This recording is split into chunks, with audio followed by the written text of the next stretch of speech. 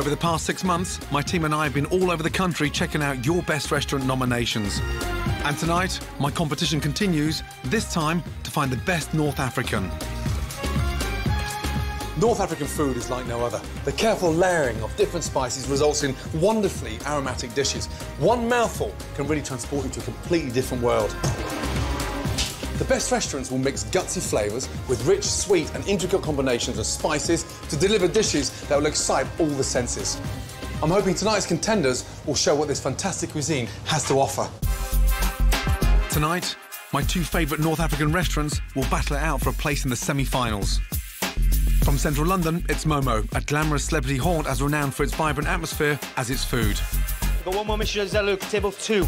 We've got a great team and a great feeling and great passion, and we, we're going to win it. The Momo machine is taking on Azou from Hammersmith, West London, a small family-run restaurant loved by the locals. Vas-y, t'as ton lame. Voilà. Yes, I think I am the best. I would love to see someone challenging me. I predict a furious fight as two London restaurants take each other on in three extraordinary challenges. The first is every restaurant's worst nightmare 30 hungry diners who will arrive and order all at the same time.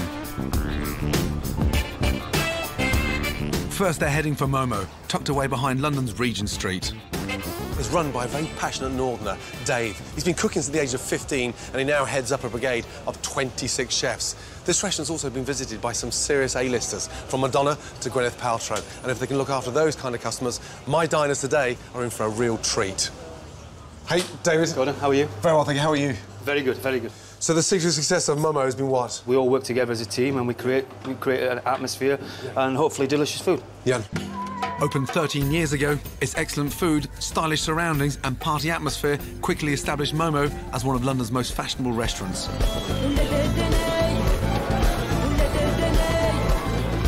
As soon as you enter, it's like a theatre. You come in, you see the atmosphere, you see the decor, you see the buzz, you want to get involved. We get lots of film stars, lots of footballers, politicians, lots of, you know, people want to go through the back door. What I love most about Momo is you feel comfortable straight away. And the atmosphere is it's quite sexy. I need one lamb tagine, no coriander, three minutes, chef. 37-year-old David has cooked in kitchens all over the world. Cooking's been my life from, from the age of 14 and a half, 15. I wait table 50, tagine lamb, sirloin steak, medium rare. Yes.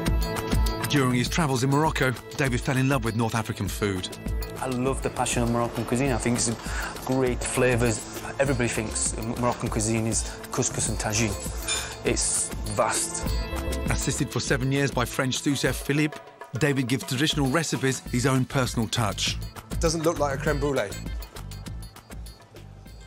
That's delicious. Only a Yorkshireman would fucking fry a creme brulee. But it works. David, that's some of the best food I've tasted so far in this competition. Make sure that you give my diners the exact experience you've just delivered to me. Now, Momo is about to be put through his paces because my ravenous diners have arrived, all expecting food and service fit for London's glitterati. Hello. Welcome to Momo. And the service shouldn't pose a problem, as front of house manager Murad has a team of nine waiters. This place deals with big numbers easily, so they can become a little bit complacent because there's only 30 diners coming in. And sometimes restaurants get bad reputations for just looking after the, the A-listers and forgetting the real customers. So first ticket on, yeah? Order one scallop, one Michelin Zaluk, one fish of the day, two momos medium. Yeah, sure. As first orders arrive, head chef David directs his brigade like a conductor with an orchestra.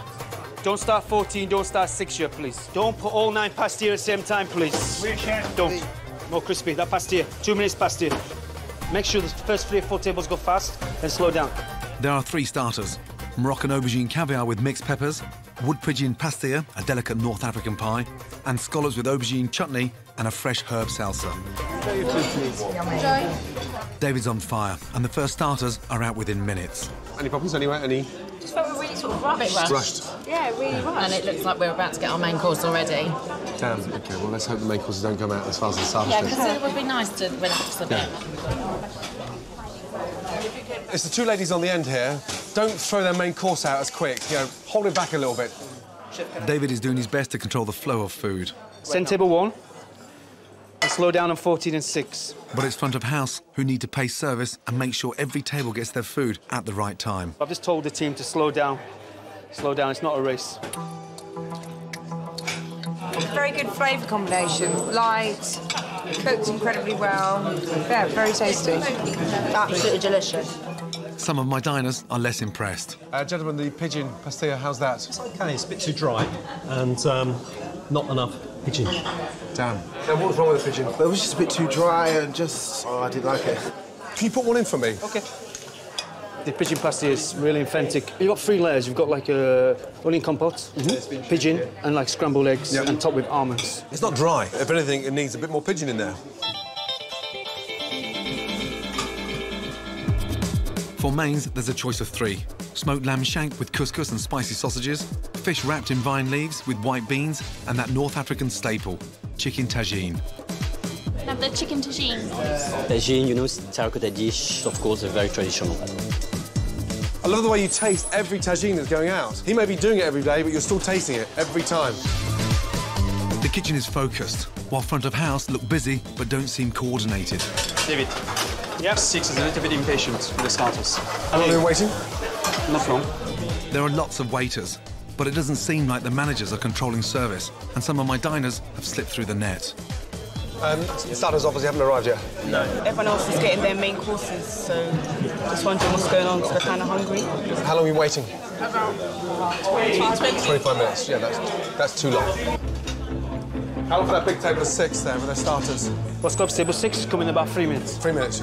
Just slowing it down so we not get everything at the way at the same time. Yeah, it's finding that balance. One table complaining it's too fast, one table complaining it's too slow. So you've got to just try to find that balance to who hasn't had their main courses. You know, when you get 30 customers at once, you want to serve it like a party. It's very hard to pace yourself. One thing they're not is short-staffed. They seem to have a manager for teaspoons, a manager for the bread, a manager for the lid, the couscous. So service should be impeccable today. So they should get that balance right. You can't serve a table, two courses, with one table, nothing. That's bad management. And far too many chiefs in the dining room and not enough Indians. In fact, there's more managers in this dining room than there are grains of fucking couscous. We'd definitely come again. We said that as soon as the main course came out, actually. That it's, uh, it's a lovely feeling here. We've been made to feel very comfortable. It did take quite a while to come and um, to receive my food. I, I don't like waiting that long to, to be honest, um, but what we got was nice. Lunch is over, but I'm disappointed that service was inconsistent for some of my diners. Timing was all over the shop, and that was down to the the suited and booted, the managers. Far too many managers, and um, a real lack of communication with the kitchen. And thank God David was on fire, because we had too many managers on the floor that couldn't spot who'd been served what.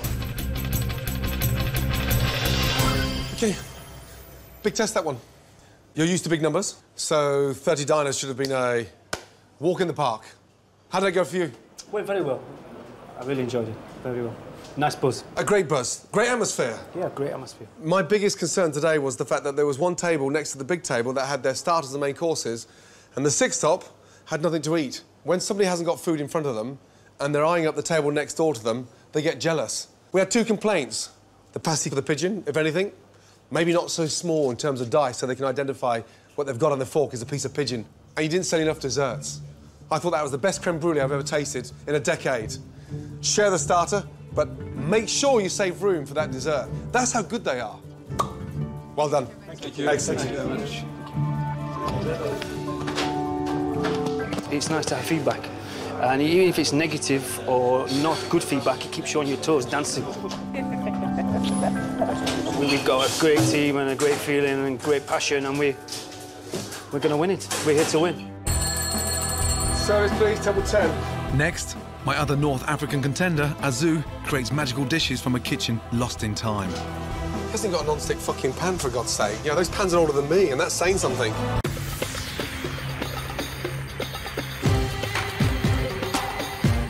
It's the North African heat of my nationwide restaurant competition, and 30 hungry diners are about to descend on my second competitor. Here in Hammersmith is one of the best kept secrets in town. This is Azou, a romantic, small North African restaurant run by a lovely husband and wife team, Chris and Chris. Now, although it's small, it's punching way above its weight, a serious contender to go all the way in this competition. Hello, Chris.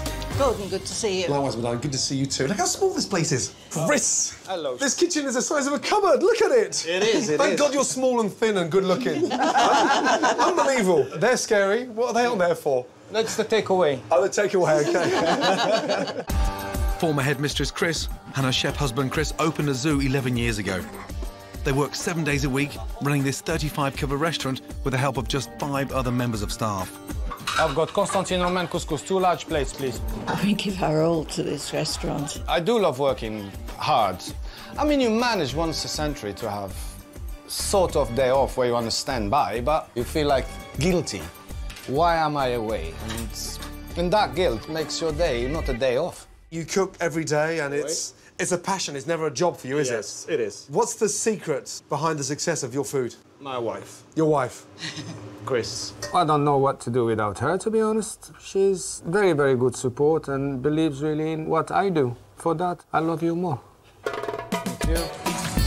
Chris learned to cook authentic North African food at his grandmother's knee in Algeria. This is the food of my childhood when I was living in Algeria. When she was cooking, uh, she's always, you know, having you next to her and you see her how you do, she's doing it.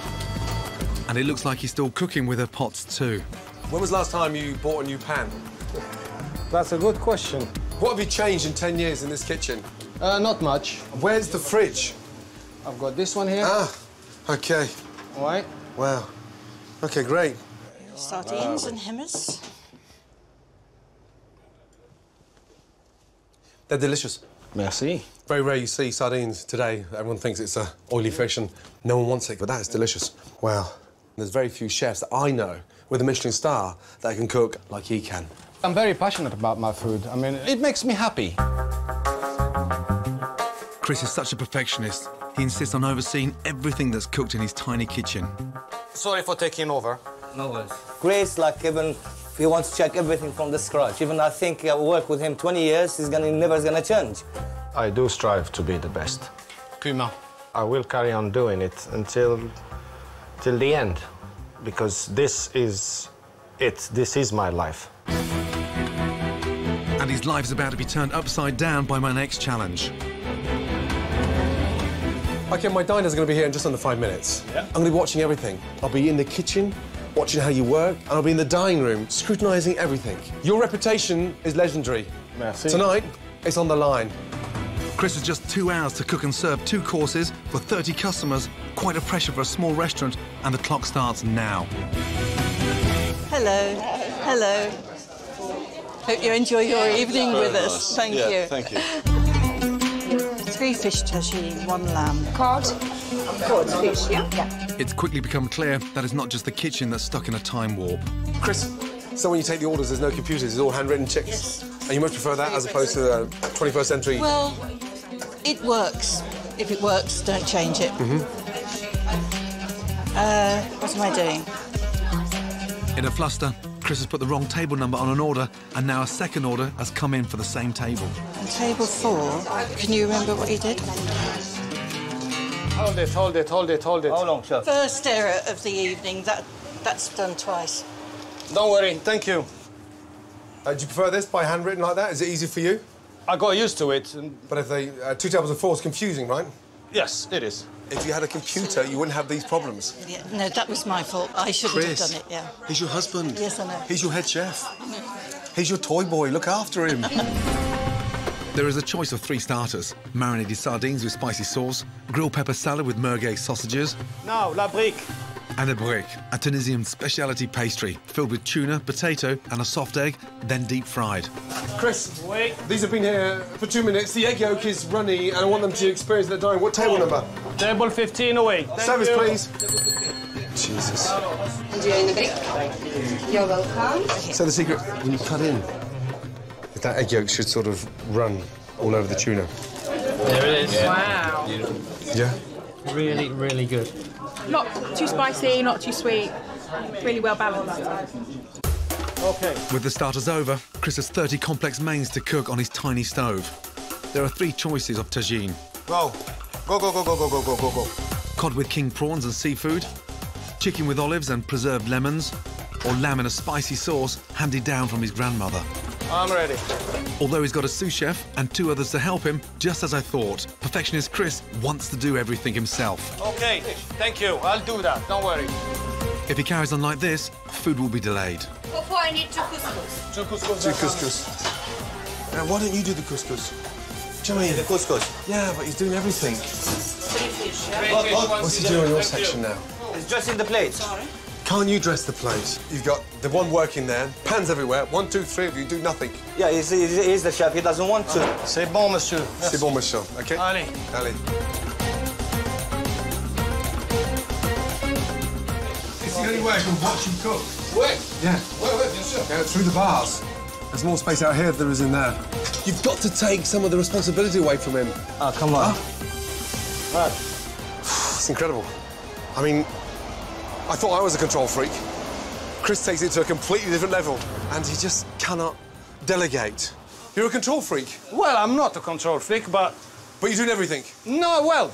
No, well. I just want him to open up and talk. The danger of one Is person. it for fish tagine finger bowl including? Oh, fuck me. I'm sure you can get your own finger bowl.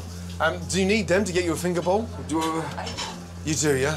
One finger bowl, please, for the fish tagine.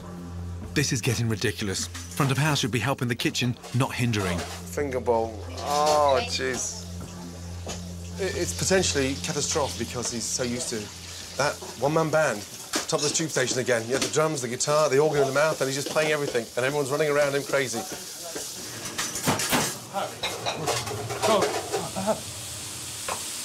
Now he pushes him off his bench and goes in there and chops the peppers. And he's got about 12 things going on the stove. I mean, the guy's a freak. You can see him, can't you? Organising his own funeral, jumping in the coffin and saying goodbye to everyone, saying the prayer at the end, closing the lid. Merci, au revoir. Bowl. Thank you very much. Finger bowl, Thank thank, you. you. Don't bother the kitchen for nothing. Excellent. Coming up to it, halfway there, and he won't offload. To go in and tell him to do something else. He's got his concentration. I think we need to keep his concentration. But why is he paying all those members of staff and he's doing everything on his shoulders? Chris not letting his brigade near the stove means some customers are still waiting for their mains. It's been a while now. Yeah, 25 minutes, I'd say. This guy won't accept help from anyone. I've got to get through to him somehow. Can you start talking to your brigade? Oh, wait. Okay, guys. Hello, how are you? yeah, come on, Hi. come on, let's go, show. Ali, let's get on with it. I've got the fish. You've got everything. Voilà. Chris! Last table. Yeah. Look at me for two seconds. Voilà. Is there any chance that you can stand over here Wait. and let your sous chef, Wait. your second chef and your third chef Wait. cook the last table? Go outside and take some fresh air. Just out there. Just, just to two minutes. You come over here and you go and get some fresh air. Out! Out! Right. Let them do it. Okay. Just the last table. I'll kill you guys if you don't do it properly. You're gonna be dead in two weeks if you continue like this. Uh-huh. Let it go! Okay, last table. How long, uh, Lizzie? Three minutes. Come on, guys. Give one more. Leave him alone. Ah! He's fine. That's something I have to work on. But, you know, when you love cooking, that's what you do. Fish. It's delicious. Really, really good. Very tender, very savoury. Mint really comes through. Full of flavour, a little bit of spice. Really nice. The food's wonderful. The place has got so much charm, so much character, such a great welcome. It, we feel at home here. It's a family-run place, and we love it. Really good. Service is over, and my diners are leaving happy. Okay. Right, first of all, service, unique. Ladies, well done. Thank you. Yeah, even down to the handwritten tickets. Okay, the first ticket went in, second ticket, two tables of four, doesn't matter. And as for the kitchen... oh, where do I start with you? Food is delicious, sublime, just amazing. My biggest problem is you. I want thousands more customers to enjoy your food. But you won't be around if you don't open up and delegate. Okay. I will. You'll be surprised at what it does. Merci. Well done.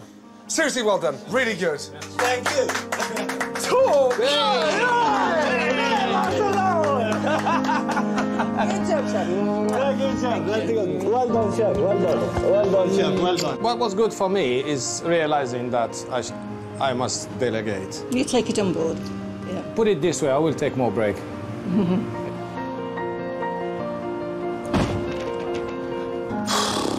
Guy's a genius. He cooks like an angel. He hasn't got all the fixtures and fittings and the posh address, but what he has got is an amazing palate. And for me, somebody to watch very closely. For Azou and Momo, my coach trip was like being hit by a hurricane. However, they both came through and they're still standing strong. Now, I've invited them to my office to meet up. With the help of secret diners, I've uncovered how these restaurants perform when they think I'm not around. I sent top food critic Simon Davis to Momo undercover, hoping they'd improved on their service problems.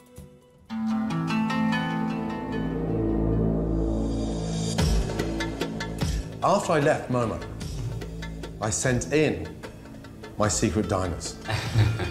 and they filmed your restaurant undercover. This is what happened. Hi there, I'm very well. How are you? Very good, thank you. Good. What's your name? Duncan. Duncan. We need to be out of here in about an hour and a half or something. Um, sorry, my English is... Your English not. Just, I called someone. Ah, your English is good. Thanks. Better, better. A little bit better. It's good. Let's go for the wood pigeon and the prawns, and then we'll have, I think, a tagine. So we've seen two of the waiters now. Are you ready for the main course? Sorry? Are you ready for the main course? I want at the same time. No, I mean, you, are you ready to order the main We've course? ordered already. Are you've ready? Oh, Yeah. ordered, sorry. No, we're good.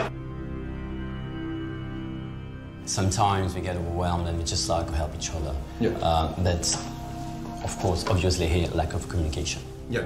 But if somebody's in a rush, that gets set across the board to everybody, doesn't it? In terms of. Ah. The pastilla? Pastilla. Here. I don't think it looks wildly appetising. It looks a little bit dry.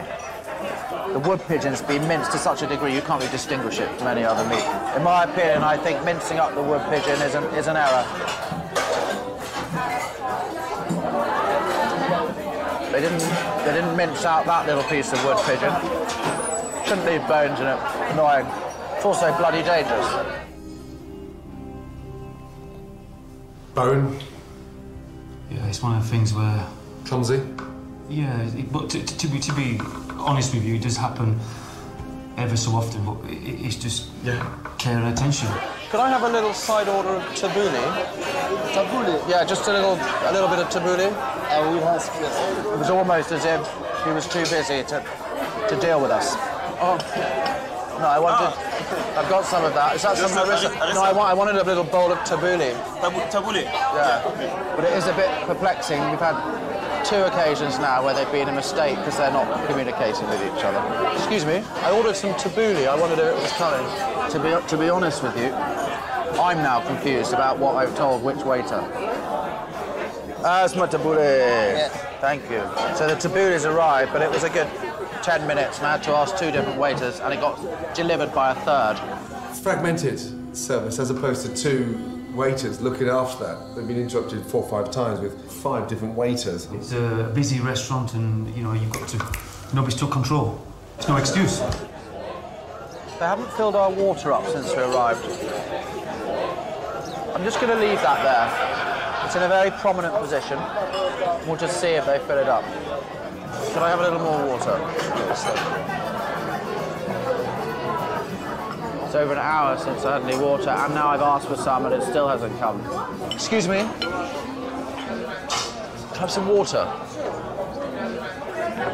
Ah, the water. Oh, just because it's a Moroccan restaurant doesn't mean we have the water retention ability of a camel. exactly. Oh, we've been waiting an hour for water. They shouldn't be waiting that long for water.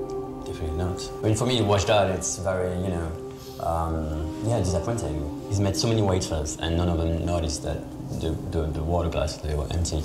But you are somewhat overstaffed with bodies there. When you've had the eighth, the ninth, the tenth waiter hit the table, you feel a bit sort of, Jesus, you know, I'm just, you know, on a conveyor belt here and just being passed along to the next person. There's a restaurant that can transport you to another place. You can eat good food, perfectly good food, You can have fun here. And if going out and eating out in restaurants is about having fun and excitement and sharing that with your friends, then this ticks a lot of boxes. The food's good. Bloody good. A few areas of tightening up. Service needs to come together. Glamorous, great, attentive individuals, but they need to play as a team. And then when the team's all singing off that hymn sheet, you've got one amazing restaurant.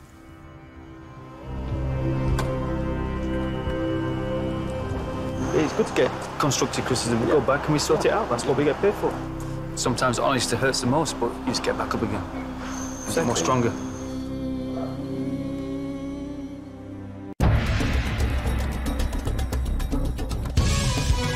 It's the North African heat of my best restaurant competition, and charming family-run zoo from West London are going head-to-head with Central London celebrity giant Momo.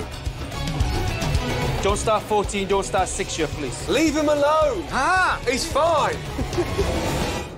Now it's the turn of Azou to hear some difficult home truths, thanks to my undercover secret diner. Food and recipe writer Sarah Durden Robertson has travelled in North Africa and sampled their cuisine firsthand. Azou will have to be on top form to impress her.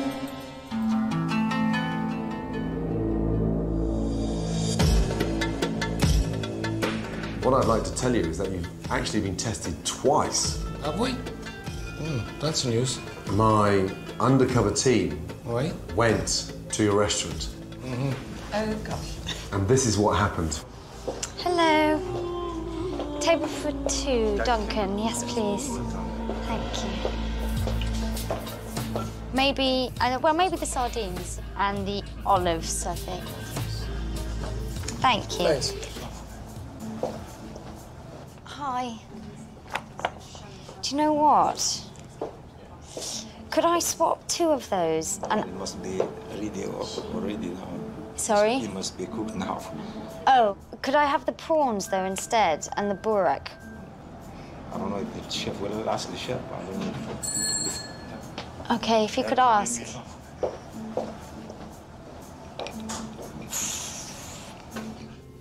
Okay. If the customer changes their mind, that's their prerogative because they're paying. Right. And we have to show that level of flexibility. Sorry, he said it's already done.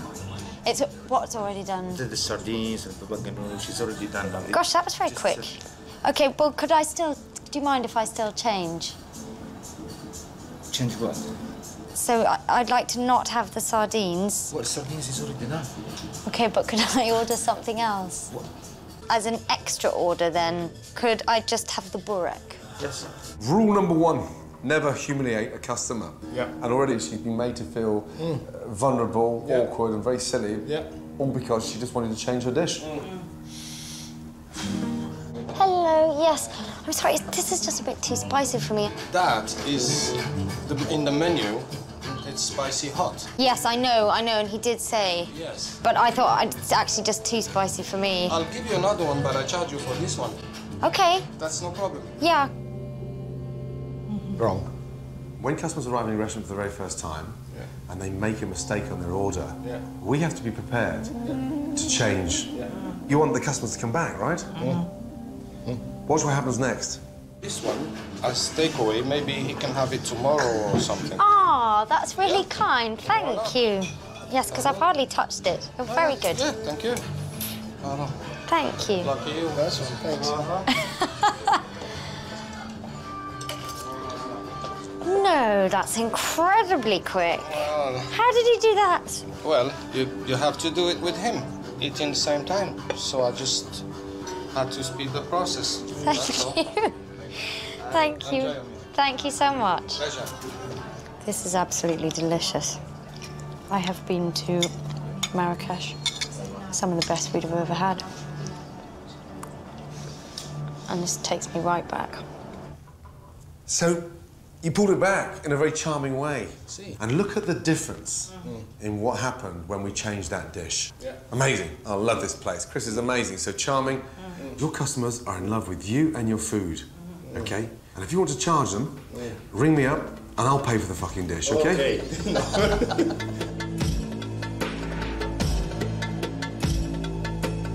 I've got a good team. I trust my team. I believe in my team. And That did happen. It won't happen again, and that's it. Now is let's see what's coming ahead. Azou and Momo have found my test really tough, but honestly, I do admire their fighting spirit. Now it's time for the final challenge, as both teams cross London to come and cook in my flagship restaurant, and this is the very last chance they've got to shine. The test is to create one mind-blowing dish worthy of my Michelin-starred restaurant. I want them to really push themselves and cook like they've never done before. Only one restaurant can go through to the semi-finals. This is what dreams are made of. A farmer's boy. I mean, I- my dad was a butcher, so this is, this is, you know, to make them proud as well. I want to win. I really want to win. Being in Ramsay's restaurant, it's an honor, and I'm very, very happy. I think um, I'm not going to disappoint him tonight. It is a very, very important day. Welcome, welcome. Good to see you. Right, you're in this competition because both your restaurants are unique. The excitement behind the North African cuisine and what it can deliver in textures, flavours, spice is mind-blowing. This is the dish of your life. Right. Because this is what's going to catapult one of you into the semi-final. Make sure it's you. Good luck. I've asked them to come up with one exquisite dish featuring lamb, a star ingredient of North African cuisine. On one side with Azou, you've got traditional, and on the other side, with Momo, you've got this new wave, a light style of North African cuisine, and completely opposite ends of the spectrum. To help me choose who's best, both teams' creations will be served to highly distinguished guests, including Elsie Owusu, Director of the Royal African Society, Lavi Ramiki, Head of Culture and Press at the Moroccan Embassy, and distinguished Moroccan chef and restaurateur Joseph Balilti. The front of house teams from both restaurants are also dining here today. David is an excellent chef. I know everything is going to be delicious. It's like a holiday cooking for 20. I'm usually cooking for 200. So it should technically be a walk in the park. It's an enormous challenge, but I think he will cope very well. Sugar, hummus, where is the hummus? Gotta have a tray, I mean, for God's sake. My one big concern today with Azou is he's been so used to cooking in his little bolt hole. It's a completely different set today. I hope it doesn't get the better of him and he just stays focused. Are you a little bit lost in the kitchen with all the space, or are you happy with something I so am big? fine. You'll be fine. Excellent. Chris is cooking a traditional spicy lamb tagine served with couscous, but he's not stopping there. I asked you to cook a stunning lamb dish. You've gone that extra mile and you're making bread. Right. The authentic semolina bread will be served with fresh hummus, a unique spice mixture of tomatoes, roasted peppers, chilies, and coriander. Two covers table four. Oh, Azou, lamb tagine. Yes, sir. Momo, four stunning lamb. Yes, chef. Thank you. David from Momo is preparing a delicious roast loin of lamb with aubergine ragu, barley couscous, and a lamb's liver with harissa, wrapped in spinach and deep fried in tempura batter. I want to do something else in North African food. I want to show the next level, the next dimension we can go. Lamb's liver tempura. And you're wrapping the liver in? Yeah, some spinach. Wrapping the Spinach. spinach. I'm going to deep fry it. Hopefully Right. it's about 50, 51 seconds. Yeah. We timed it last time. Christ, so you really are pushing the boat out in a big way. This is incredible. He's pushing the boundary out with the lamb's liver, which is not everyone's cup of tea. I just hope in an hour's time that doesn't come back to bite him on the arse. Give me an estimated time for four tagine. Five minutes max, chef. If there's ever a night to work as a team, this is it. But as the pressure builds, Chris is up to his old tricks. No, no, just make it ready for me. I'll show you first. No, apron. He's such a control freak. Uh, wait, wait, I'll check. He can't stop and he can't help himself. He wants to do everything. No, no, no, no. You don't touch the plates. Yep. Okay. Azou's first dishes hit the pass within minutes. Jesus. God, that was quick. Okay, service, please. First table coming out, Rob. Let's go. Azou. Yes, chef. Full covers table six. Pass. Chris. Yes, chef. It's dinner, yeah? Take your time, yes? Pas de problème, chef. Service, please. Let's go. Chris is cooking faster than fucking Usain Bolt runs. He's just totally focused, refuses to talk to me, and his head is steeped right in that couscous. And for tagine, here we are. Thank you. Let's go.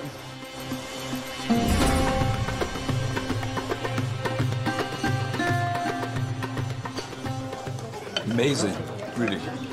The bread is bread is like uh, I remember my grandmother. Mm. That's heaven. Tastes too amazing. Yeah, I'm very proud of him. The sauce was too much sauce for me. Ready for my taste. Yeah. Drowned. Yeah. Chef David's modern take on North African cuisine is a lot more sophisticated. Seven up, chef. Yeah, good. The five elements to his dish require delicate timing, and sous chef Philip is getting ahead of himself. Chef, don't slice too soon. Not ready. Not ready, chef. Not ready. Don't go. Yeah? I'll give you 90 seconds before I want the lamb. Come on, listen to David. Philip, slow down, please. Don't slice that lamb too early. Yes, sir. Yeah, when David gives you the call, yeah, on that juice, yeah, in amongst that couscous. Not left on the board, yes? Yeah. Please. And you know, Philip, you can leave it resting here. Leave it fat side down like that. Yeah. And all it's going to do is render and it'll stay nice and warm. See what I'm saying? Thank you. Yeah? Yes. Slow that one down, chef. Yeah. Chef, slow that one down. Yes. At this stage in the competition, David can't afford to make mistakes. Philip? Yeah. One more aubergine. One's not good.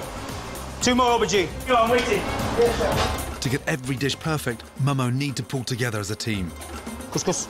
Yes, chef. Come on, Philip, give me a hand dressing as well, please, yes? Yes. Yeah, like a proper teamwork. Good. In the middle, so you can work off both trays. There you go. Put the lamb on. Yes. Ah, fuck. And they've pulled it off. Uh, David, they look fantastic. Look very nice. Oh, beautiful colours. OK, service, please. Trays up, please. Table two, please, yes? Fantastically ornate looking food. Let's see. Very nice. It's just that musty, smoky feel. It's something a bit different. We kind of all agreed that liver's not our favourite thing on the list, but the way he executed it was excellent. It melts in your mouth. Mm. The flavours aren't quite as complex. Liver is a little bit overcooked. It's a bit dry. It is, yes. The last of Chris's exquisite tagines are flying out of the kitchen. Take. He has just one table to serve. Here we are. Next, chef. That smells amazing. Delicious. Thank you. That was fast. It was good. Next. Yeah, breathe, take some fresh air. Last table, David, yeah? Lovely. Well done. Okay, let's go, chef. Well done, well done. Service is over, and it's time to find out what my distinguished guests think about these two extraordinary dishes, starting with Azou. Right, how was your lamb shank? The lamb shank was my favourite. As Ready? soon as I experienced that sauce, I knew that was it. Yeah, authentic and delicious. I just enjoyed it for what it was. Very simple, perfectly blended. I dipped the bread in, first mouthful. Oh, I like them both, but I thought the, the Momo dish was fresh, it was beautifully presented, it was just altogether delightful. I prefer the Azou dish. You could just imagine yourself being in the old souk. Definitely, I preferred, I mean, Momo's dish because the meat was very well cooked. Uh, I'm used to Moroccan cuisine because I'm Moroccan myself, so it is really a sort of uh, a nouvelle cuisine. The tempura liver, I was not expecting it to be quite as mouth-wateringly sort of melt on the tongue as it was. It was really, really really delicious. I love the Azou dish. I adored the flavours. They were so powerful. I wanted more. My diner's comments confirm the brilliance of the food served here by both Azou and Momo. I think the dish went extremely well.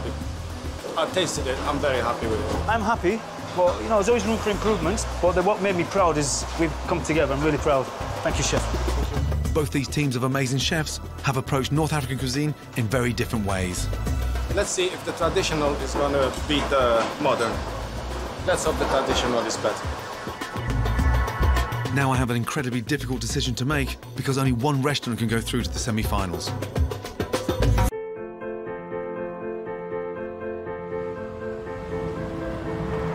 My two top North African contenders, Momo and Azou, both from London, have thrown everything at the final challenge.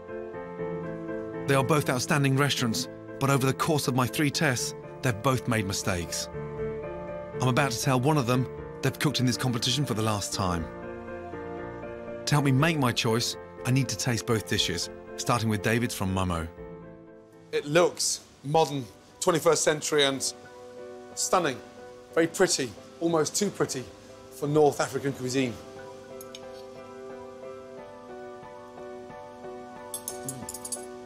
Lamb's delicious. I mean, really delicious. Delicate. Cooked beautifully. Liver, difficult one to get right. Not only that, but it's tempura, and you don't think of sort of um, fried liver. with North African cuisine. However, the combination, baba ganoush and the barley couscous works brilliantly well. I've got an issue with the liver. However, the lamb is cooked perfectly, and it's a loiner lamb, so it's, it's been shown respect. Authentic, classic, untouched. Meat falling off the bone.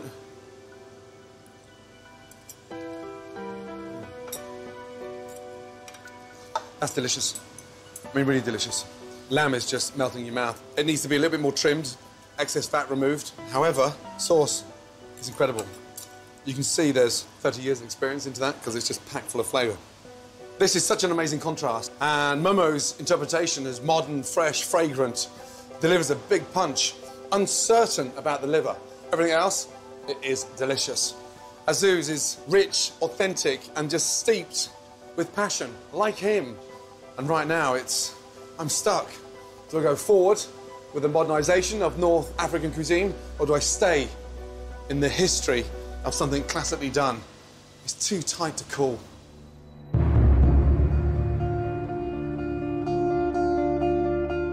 Two fantastic North African restaurants, but only one can win a place in the semi final.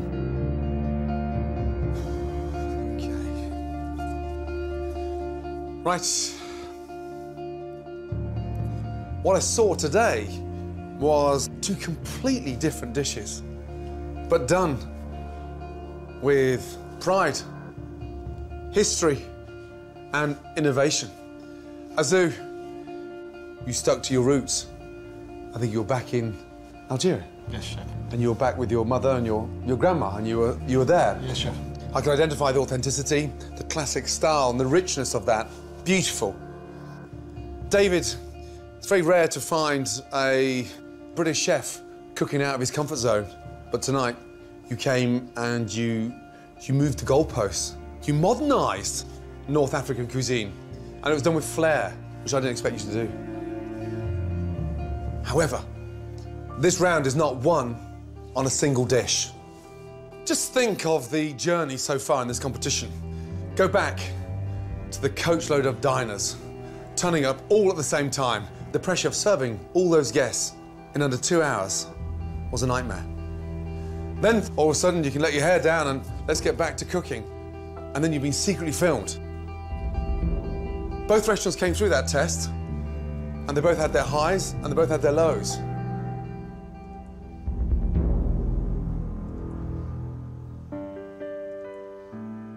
Listening to the diners, tasting both dishes, based on everything we've done in this competition, the restaurant going through to the semi-finals.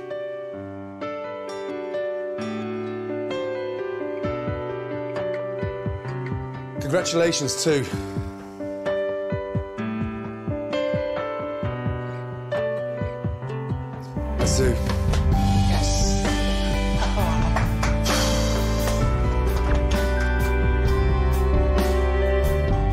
David, don't stop that level of pushing to the extreme.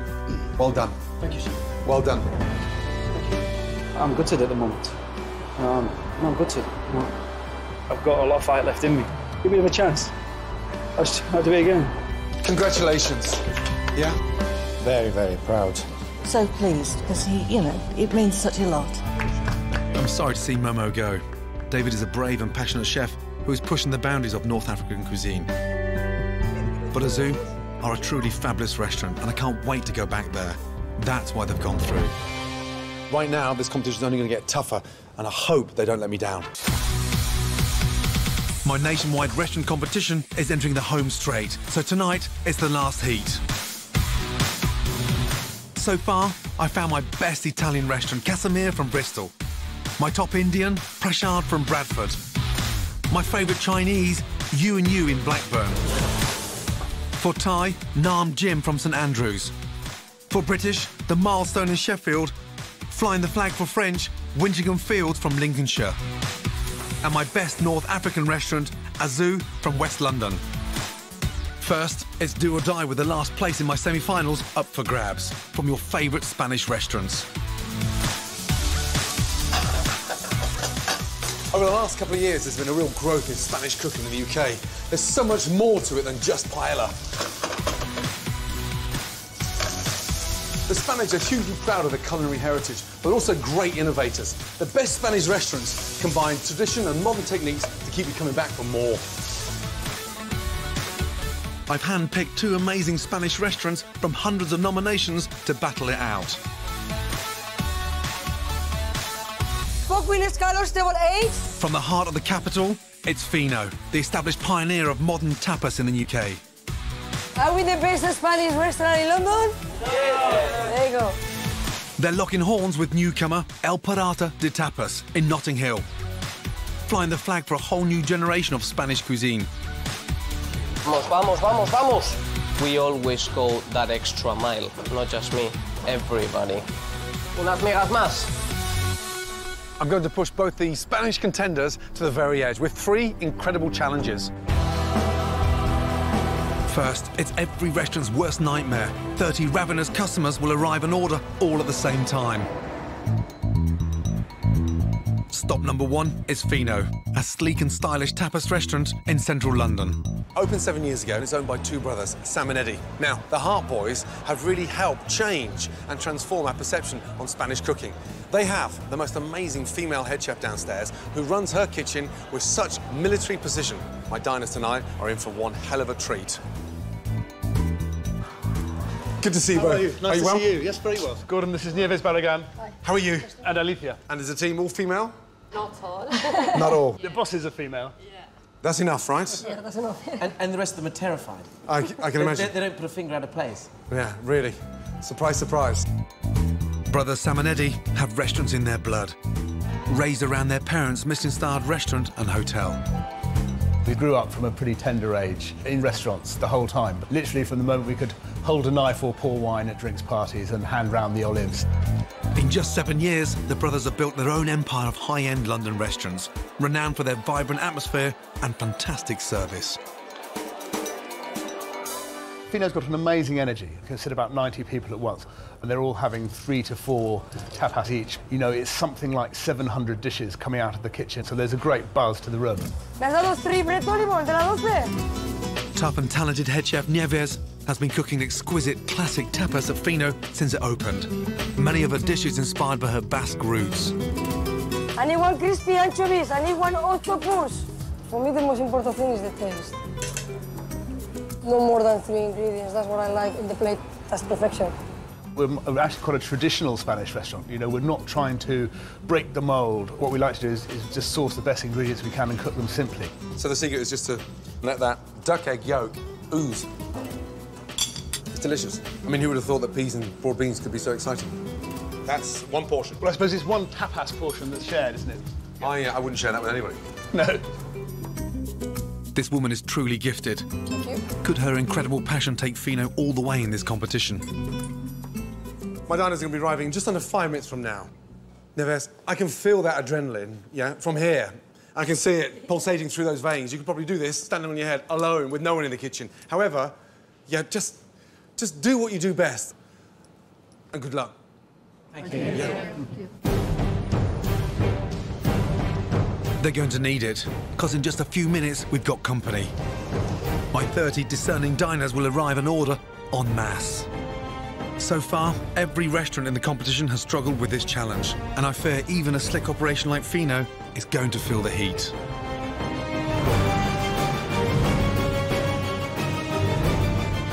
Okay, guys, in one minute, okay? The customers, they come in in one minute, yeah? Yes,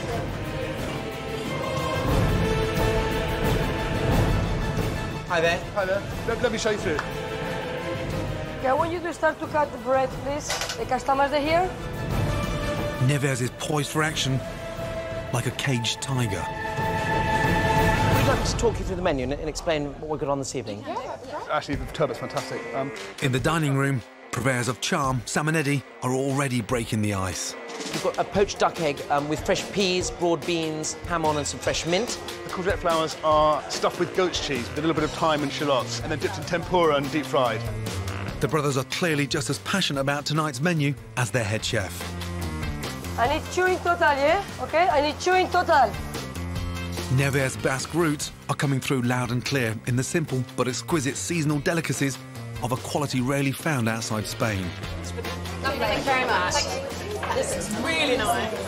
Wow, they look good. Yeah. Presentation looks fantastic. Mm. This is delicious. Absolutely fantastic. One of the best dishes I've actually ever had. Just over 45 minutes gone, and this place is absolutely rocking. Customers loving the food. Great atmosphere in there. But right over there on that hot plate, that's where the real Spanish fire is because she is over everything. Every plate is immaculate. Okay, guys, I need, yeah, one more rodaballo. Alicia, Yes. one now, okay? Yes. One now. Nieves is seasoning every dish, tasting every sauce. Alicia, two más olive oil in there, okay? Very tiny, very tiny, very tiny olive oil. Like a true artist, she has complete command over every plate. Tiro más, tiro más. This woman is a culinary Picasso. Okay, start to play the potatoes now, yeah? Yes. Okay, one turbo, two suckling pigs, one broad bean is table 14. Yes, sir. This is the best part of the, of the cooking. Okay, Alicia. Does she normally do everything like this? No one's allowed to touch anything bar her. You just pass everything to her and she does everything, yes? Yes, yes. okay, one gazpacho in addition, please. Yes. She's a control freak. She's worse than me. Uh, every night she's like this. Yeah, yeah, yeah. She's really passionate about her job, you She's know. very passionate. Really, really, really passionate. I can't fault Nieves's dedication, but I can see a problem. She's sending out dishes as soon as they're ready, rather than ensuring everyone on the table is fed together. We were going to have uh, two starters between the four, so we wanted them both to arrive at the same time so we could get um, stuck in. Doesn't seem to be arriving at present. Where's the squid? I don't know. Have we asked the kitchen? Uh, no, because uh, she... No, no, no, no, no, no. We, we have to ask these things. Eddie's on it. But I've clocked another lady waiting for her turbot. Where's that last uh, main course there for the five ladies? They, uh... This sort of issue could ruin a whole table's dining experience, and Sam knows it. Is there a last course on table nine coming? I think that they should serve all the food together, and I didn't want my friend's food getting cold while I was waiting for mine, so yeah. a little bit miffed. I need one more turbot, Alicia. Now, one. Don't make me chew. Toma, loco. Toma. Nieves is determined not to let a little slip up like this ruin her service. Within minutes, two hot dishes are winging their way out to the dining room. Turbot, table 21, okay? There we go. Okay, let's go. Sorry about that, madam. And just to make sure there's no hard feelings, Sam is on the charm offensive. Do you like me to show you how you fill fillet the turbot? Or do you know your way around more or less You there? do it? I'm very happy to do it. Yeah. Some people like to fiddle around and do it themselves. Others prefer it filleted. Thank you. Nicely done. Excellent. It's meaty, but it's a very light flavour. There's a lot of vinegar and olive oil that they put with it, as they do in Spain. Um, and it, but it, it doesn't overpower the fish. It's really, really lovely. Second course, turbot suckling pig. Yeah? Yes. All the starters gone? Yes, yes, Yeah. yes. We're doing second course now. And in the plancha, I want to see one, two, three, four, five, six, seven, eight turbot, okay? Eight turbot. as well as the delicious turbot. For the main course, Nieves is serving a speciality, roast suckling pig. Mouth-wateringly sweet and tender. It smells fucking amazing. It's another Spanish showstopper. The suckling pig's fantastic, full of flavour, really well cooked. The simple potatoes that it, it comes on are really exquisite. Okay, second course, Alicia, three turbot. That's delicious. The whole thing just melts in your mouth. And more importantly, it's got a really nice fragrant, sort of well-timed bay leaf and rosemary underneath. This could well be the best food I've seen so far in this competition. The longer I'm here, the more excited I'm getting. How many more main courses have you got to go? That's it. That's it. Yeah. All gone. We're going.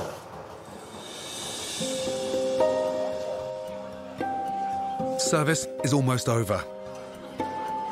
But with the combination of delicious desserts and Sam and Eddie's unfaltering charm, the dining room is still buzzing.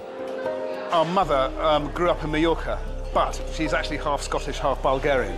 So we sort of look Spanish, but aren't at all. The fish was beautifully cooked. I had the turbot. I, cou- I couldn't fault it. It was beautiful. The Food was fantastic today, absolutely brilliant, delivered on flavour, and I'm very, very impressed. Thank you very Good much. night. Goodbye. Thank you very much. Thank you. Good night. Thanks. Thanks for coming. Right, um, OK. What can I pick on? What can I say that we have to improve on here? There was a moment in service tonight, service gets awkward, and that was just after the starters had gone. That's the only awkward moment I saw. The food's amazing. You can smile now. Yeah, yeah, no, no, Yeah. No, no, no. You don't do it often, but you can now. Yeah. Yes? The service. Tonight, you two just raised the bar. Good job. Thank Brilliant. you. Thank you. In my quest to find the best restaurant in Britain, my posse of hungry diners are riding into town. About to roll up at the second Spanish contender, fighting for the last place in the semi-final. The pioneering El Pirata de Tapas, or The Pirate in London's hip Notting Hill, is managed by Roberto, and the kitchen run by Madrid boy Omar. It's only been open for two years already it's got rave reviews. This young Spanish chef, he's only 26, and this guy really does have talent. Hola. How are you? Very well, and Good to see you. Very well indeed, thank you. I'm so happy to be here. Small restaurant, small kitchen, Big passion. big passion. Show that on every plate. Of course. Very well. Head chef Omar has a hugely impressive CV. Having worked for the celebrated molecular gastronome Ferran Adrià of El Bulli in Spain, voted one of the best restaurants in the world. It was a tremendous experience for me that has influenced the rest of my cooking and the rest of my career. This young pretender has an ultra-modern approach to tapas and uses molecular cooking techniques to take Spanish cuisine into the 21st century with huge style. I like beautiful things in life, as we all do. So I think it is great when you are sitting down in your table and something beautiful comes into it, even though you don't expect it. Omar's experimental methods can turn a traditional dish on its head, like his jellied gazpacho. It's very clever because you've got this nice chilled jelly. Tasting exactly the same, but a completely different texture. Yeah. In his mission to stand out, Omar bravely embraces daring ingredients, like his confit coxcomb, the crest that comes from the head of the cockerel, which most British butchers throw away. They actually give it to us for free Really? all the time. Because no one's ordering them. No. I don't think there's many chefs anywhere in the country that has free ingredients that can be clever enough to charge money for it. Smart ass. ¿Puedes pedirle a Joaquín que me emulsione el queso, por favor? No, era uno. This competition has just gone up a notch on the back of the Antonio Banderas of cooking. Little bastard. Far too good looking to be a chef. Vamos, vamos, vamos, vamos. He has passion, guts, and a huge pair of cojones. Service!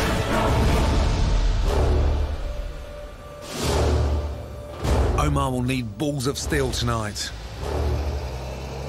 He's got just two hours to serve all 30 of my discerning diners and stake his claim to be the most avant-garde Spanish chef in Britain.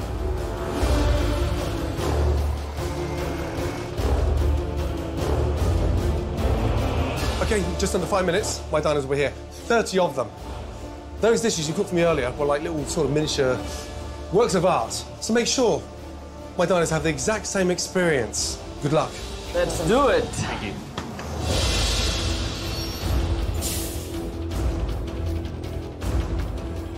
We will put all our effort, all our knowledge, all our commitment to make this happen. I really want to win this. Omar's definitely not playing it safe, with a pig strata carpaccio and his coxcomb langoustine meloso, a type of Spanish risotto. I've got this image of this chicken's head just being ripped off. Is that, is that what you ordered? Basically, cost crumb is just the top of the of the crust. They're really tender, really, really amazing. With some able guidance from manager Roberto, the overtly avant-garde menu is creating quite a stir. It's a pig trotter. No oh, way, not for me. No, really need. You can have it. I'm going to give it a try. There's no point in not. Okay, first check. Dos arroces, dos lentejas. With all 30 orders taken, can this young buccaneer seize this enormous challenge and lead his crew to a resounding success? Two migas, another pig trotters, unas manitas de cerdo. ¿Por qué está cayendo aceite? Service! This is complex food and a lot could go wrong. But so far, Omar's as cool as a cucumber in his gazpacho. These plates are immaculate. I mean, we've just started service and we're only half an hour into it, but composed, yeah, bloody good. Service! But the food looking absolutely spotless. But will his unorthodox dishes be too experimental for my diner's taste?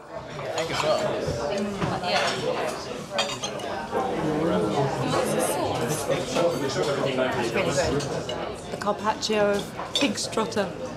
Yeah, it's, it's amazing. The texture takes a bit of getting used Yeah, to, yeah, but the totally. flavours are incredible. I never thought I'd say I'd eat a pig's trotter. Customers are loving the food, and it's not exactly what they expected. Listen to the atmosphere. You know, anyone would think there's music playing in the background. The music are the customers. They're happy. Even the coxcomb meloso is going down well. But each dish must be made to order and is putting pressure on the kitchen.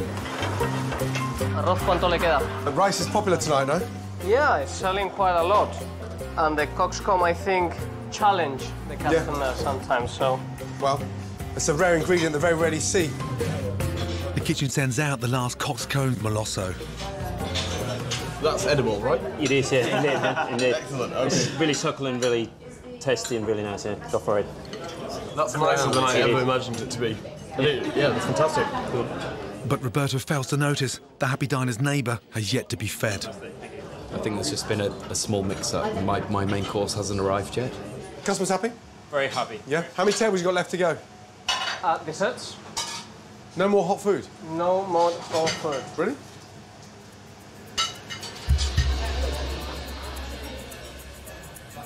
Finally, Roberto spots the problem. Eh, había un arroz negro, un arroz, perdona, que estaba... 23? 23. Oh, shit.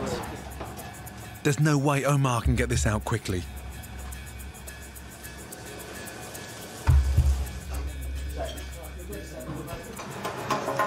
Bit of butter. Everyone's already finished theirs. Sorry, Mark. It's all right. What happened? I did a mistake. Because of the rushing, everything came at once. But yeah, the most important thing is to do the food correctly, even though they need to wait a couple of minutes extra. It's fine. It's not until desserts start to leave the kitchen that the delayed meloso is sent. Venga, llévate este arroz a la mesa 23, por favor. Just that plate there, so you can try Thank you. Chew, Dr. Swallow. Was it worth the wait? Absolutely worth the wait, but just a shame it took um, all you guys have all finished yours. But that's the only letdown. It does, the food's fantastic. El Pirata's near faultless performance has been down to Omar's sheer skill and passion. He's pulled off the remarkable, making humble and unappealing ingredients taste like a million dollars. It's detailed, it's a piece of art on a plate. It, it looks beautiful, it tastes beautiful. I think the food here is absolutely incredible. Some things that I never would have thought of eating, but actually worked really, really well. Tough challenge. My diners are over the moon. Well done. Thank, you. Thank you. Wait for the final. Yes? Yeah. You're already there, are you?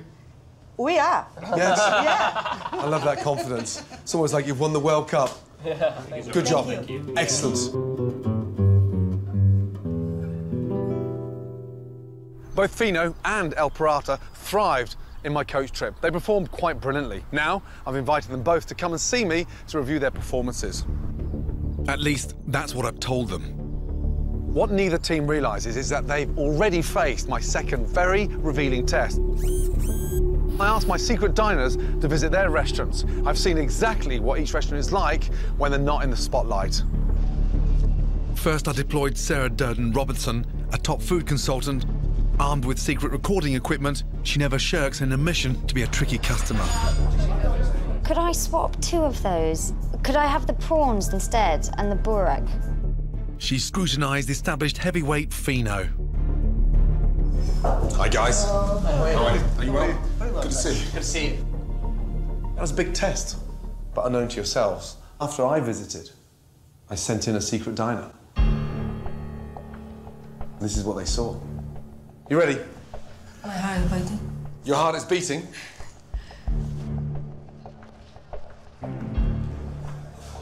What have I touched? Something...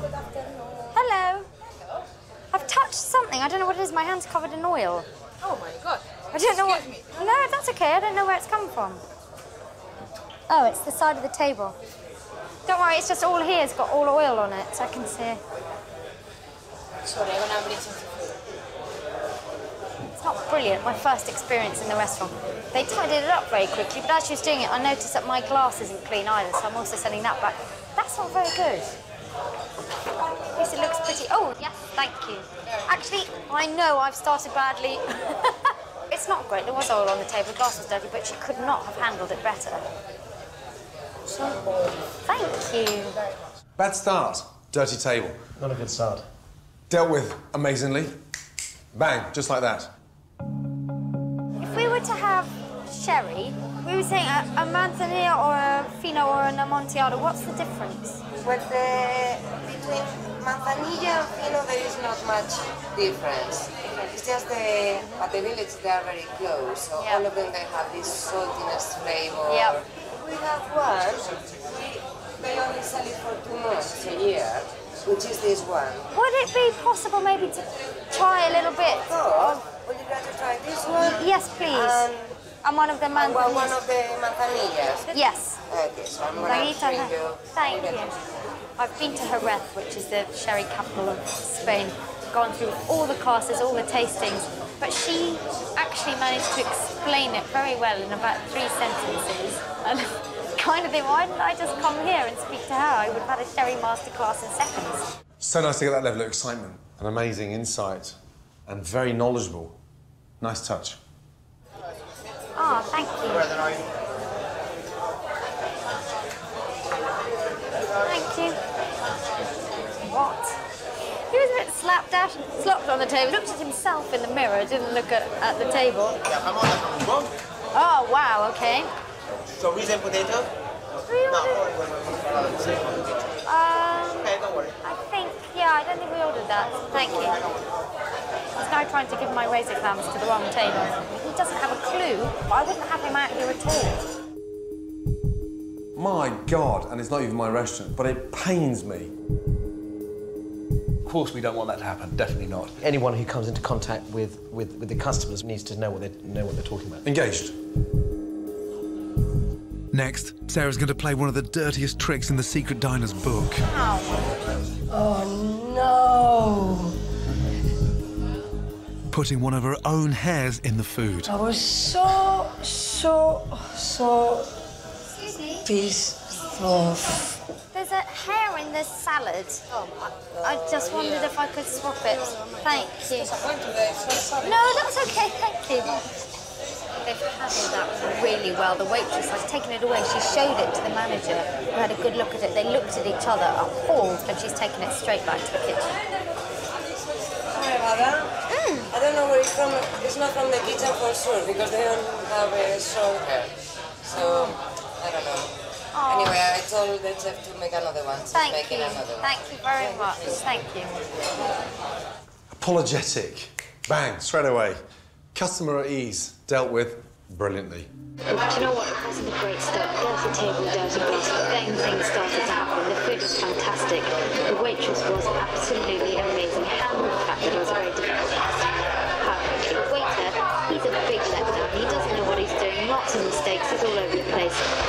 And that's a shame because everything else is top notch. What do you make of that?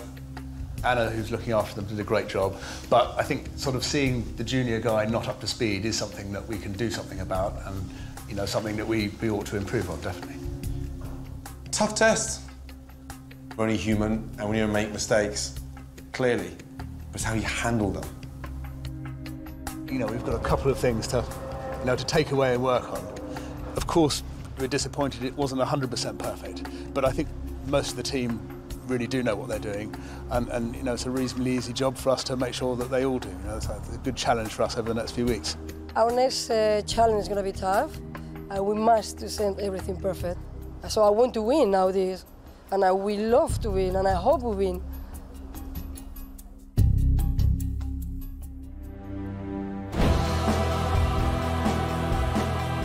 Next, my undercover spy gets the cold shoulder from El Pirata. That's Facebook. On the computer, checking out his mates, and still my secret diners without the wine.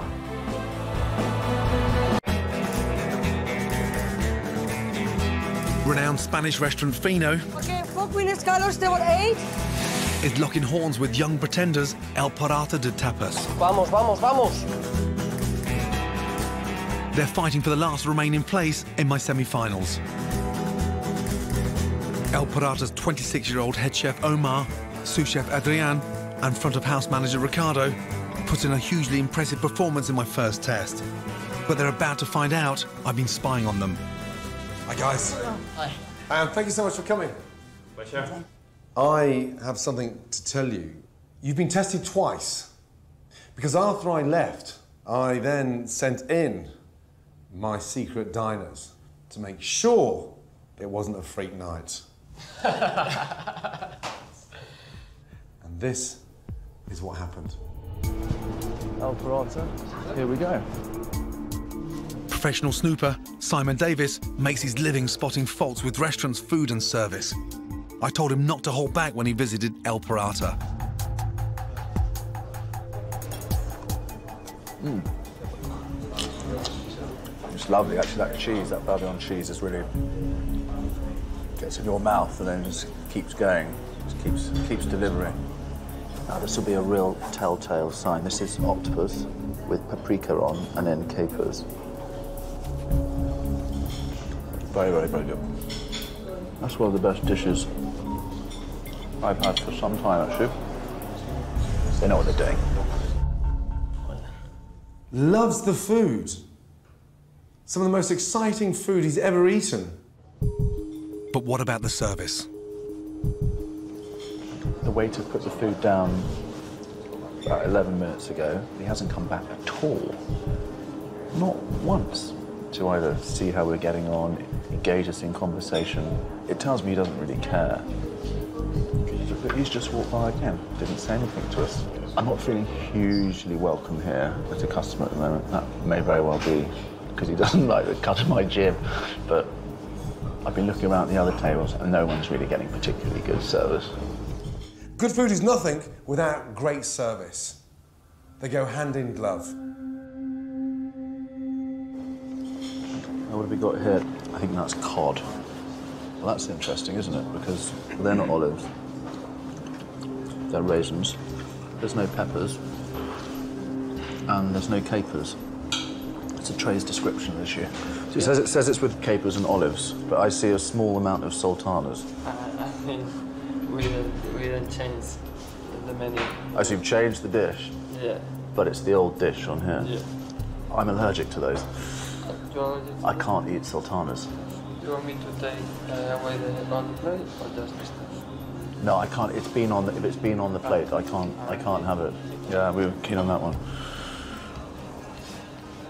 You can't just offer to take the sultanas off and bring back the plate. Also, bear in mind that now we've been chatting and looking at it and stuff. It's cold now. Cod on the menu. So with the capers and peppers arrives with raisins. What happened there? My fault. No updating the menu. Not changing the menu. Just, uh, yeah. I Just, mean, how uninterested was that waiter? He's like a zombie. Yeah, I feel quite ashamed when I've seen this sort of uh, attitude in the service. Guys have got a cool, hip, amazing restaurant there. You're sat on something potentially brilliant. And if someone wants to turn up to work and talk like that to customers, get in washing fucking dishes. I was going to get a glass of glass of red wine. Which would you advise? Well, the menu, the menu was quite nice. No, I'm going to have this one, the Remy. Remy? Yep, thank you. Just a glass. Mm. So where's my where's my glass of, of red wine? That's Facebook. On the computer, checking out his mates, and still my secret diners without the wine. Excuse me. Um, yeah, I ordered a glass of red wine. Oh, sorry. Yeah. Very special. It's all right. So I hope, I hope I didn't interrupt you. Uh, no. Okay.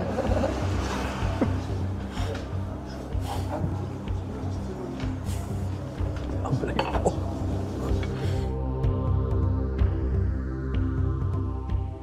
What kind of impression does that serve to customers when a waiter sat there on a computer? I think at just over 40 quid a head for the quality of the food and the, the ability of the chef, it's good value. Where it suddenly stops being good value is when you have service like the service that we've seen today.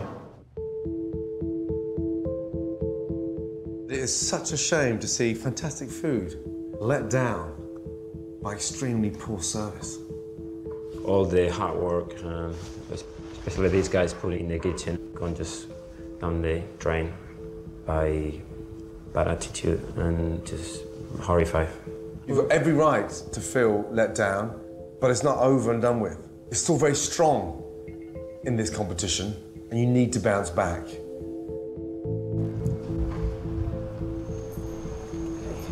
A lot to do. There was no problem with the food, it was a problem with the service. So I, I feel personally responsible for that. So yeah, I just feel, you know, that we fail. Disappointed. So we need to work together as a team, and we will make sure this doesn't happen ever again.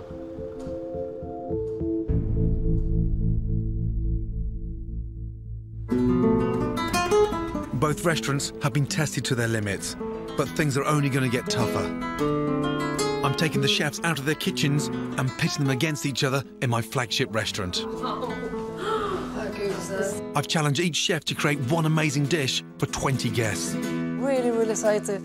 One of the biggest days for me in my career. If we go forward now, it's going to be just a dream, you know, come true. It really means a lot for a chef to be here. I hope I can deliver on quality as this restaurant deserves. Let's do it, yeah? But to win them, the last remaining place in the semi-finals, it will have to be the finest dish of their lives. Big test. 20 guests only, one stunning dish. Make sure that every ounce of passion, excitement, knowledge, and experience goes into that plate. And at the end of it, one restaurant is going through the semi final, one is leaving the competition. Off we go. Both restaurants will be going all out to win with a classic Spanish ingredient, pork, favoured for its amazing versatility. Pork's a very tough meat to get right, and when it's overcooked, nothing worse, dry.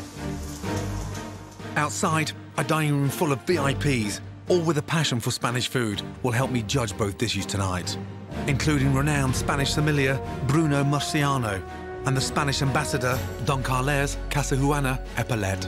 All the front of house teams can do is wait and hope. On order, El Pirata, four covers table five, four pig cheeks. Yes, chef. Thank you. After my secret diner's bombshell, Omar is putting everything on the line tonight with an incredibly complex dish. He's mixing the refined with the rustic.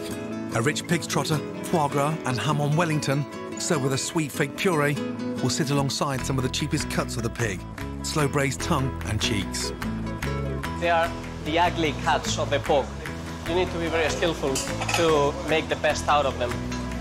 But uh, yeah, very confident. I've tasted all the food. I'm very happy with the flavors, the combination of them all together. So hopefully they all like it. So you really are going all out there. There's a lot going on there. A lot of going on. The combination, I think it's fantastic in the mouth.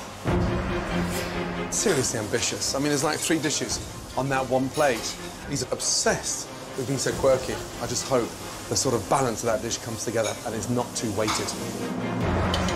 On order, four covers, table five, Fino. Four pork cutlets. Yes, chef? Come on, guys, please. Uh, At least give me an answer. Look, it's not, it's not complete. Fucking hell. In her own kitchen, Nieves is a control freak, shouting orders left, right, and centre. But today, she's like a different person. I want to hear that communication and a little bit of oomph, please. I hope her silence doesn't mean she's lost her nerve. On order, four covers, table one, Fino. Four pork cutlets. Yes, chef? Good. Now it's sounding like a professional kitchen. Let's go, yeah? Today, Nieves is sticking to her Basque roots, creating a simple dish packed with authentic flavours. Pork cutlets marinated in sweet paprika, accompanied by a silky smooth cauliflower puree and broad beans cooked with hamon. So you're playing to the strengths. You're keeping it exactly what you cook like in Fino. This is Simple simple. Spanish, that's what I do. Four simple things on the plate, but tasting amazing together. That's what I hope. Yeah? Pork is lovely. Good. I hope uh, I got the right one. Thank, Thank you. you. Thank you. With Fino, I'm expecting magic. She's kept it simple. It has to be perfect. Every element on there. Four cutlets away. How long? Give me a time. Uh, I'm ready. Good. Nieves, that looks fantastic. Love the colours. Huh? Vibrant, shouting, summer. Okay, look, again. Beautiful. Absolutely fantastic. You happy with those? Table two, please, go. Keep it go, guys, yeah? Food's looking amazing.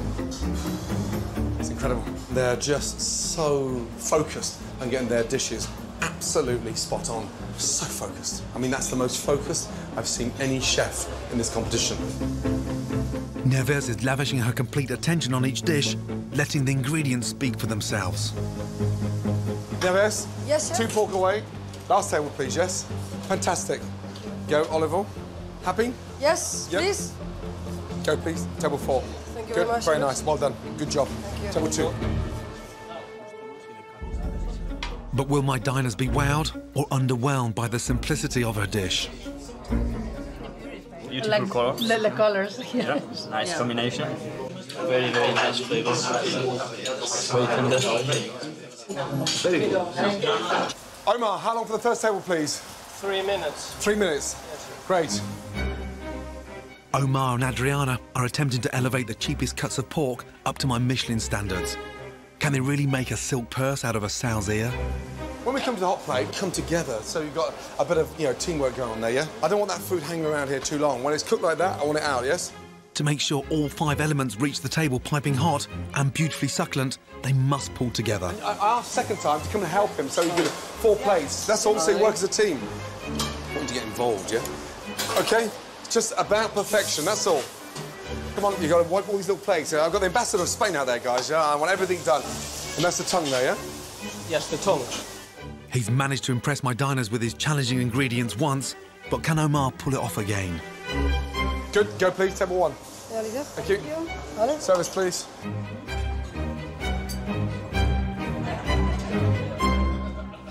Sophisticated. Yes. The flavor, the textures. Actually, I had never tried the tongue before. Quite surprised. Really, really nice. Service is over. OK, good, well done. Water, water. Wow.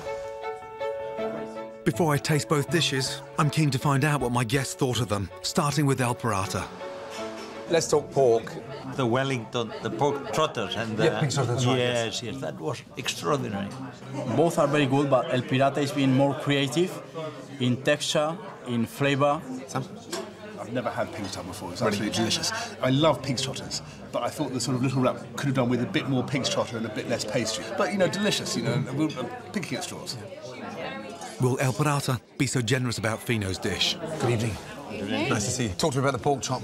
Yeah, it was great. Uh, I really enjoyed the combination of flavors was great. I think it was just an outstanding dish, and it was really, really good. The Alfino dish was a very simple dish, done very, very well. Beautiful. I prefer the fino dish. I think it's more simple, but at the end it was better for me. The other one, it was too much. Tonight, I've witnessed some of the most outstanding food in the competition from two remarkable chefs.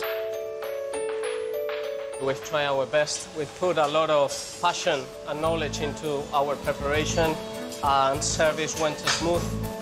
So I'm very happy, very pleased. I'm happy with my dish. Ah, we love to win, yeah. Now I have the impossible task of choosing which of these two will go through to my semi-finals.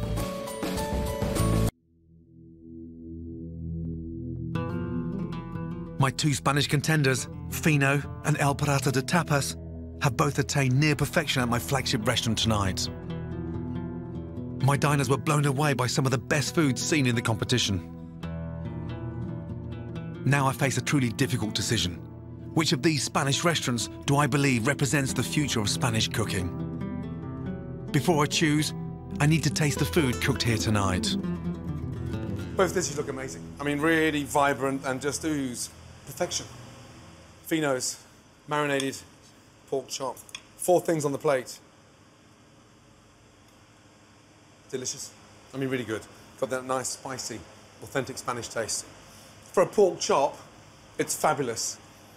Cauliflower puree, a little bit grainy, but the combination of the resting juices and that chicken stock across the broad beans, really delicious. To get four ingredients on a plate, tasting that amazing, that's a very confident, clever cook. El Pirata looks amazing. Start off with the pork cheek and the tongue. Mm. That is phenomenal. Just melts in your mouth. One criticism, the fig puree, very, very sweet. A little bit too much. The Wellington has got that robust, rustic flavour to the dish. Delicious. It's the cheapest cuts, and they've made it taste like the most expensive. Two incredible Spanish restaurants. But only one can go through to the semi-final.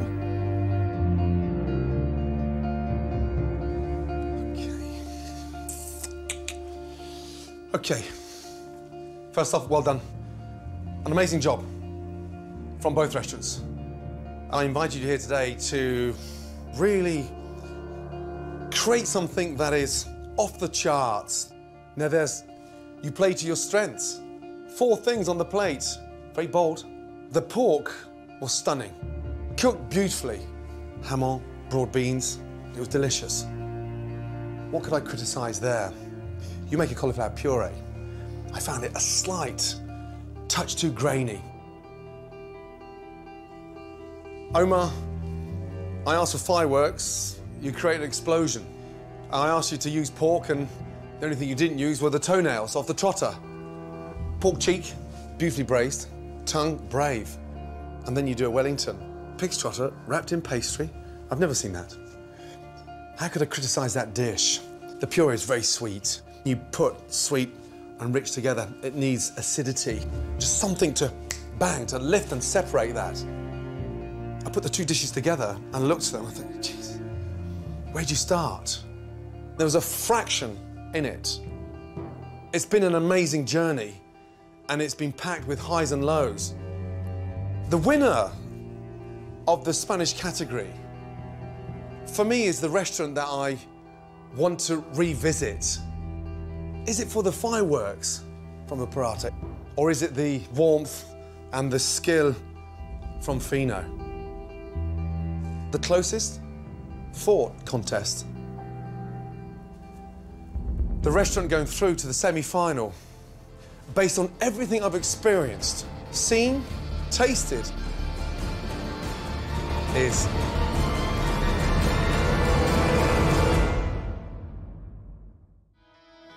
Fino, congratulations. Absolutely amazing. Amazing, amazing, amazing. Simplicity at its best, wonderful. Congratulations. Really well done. Good job.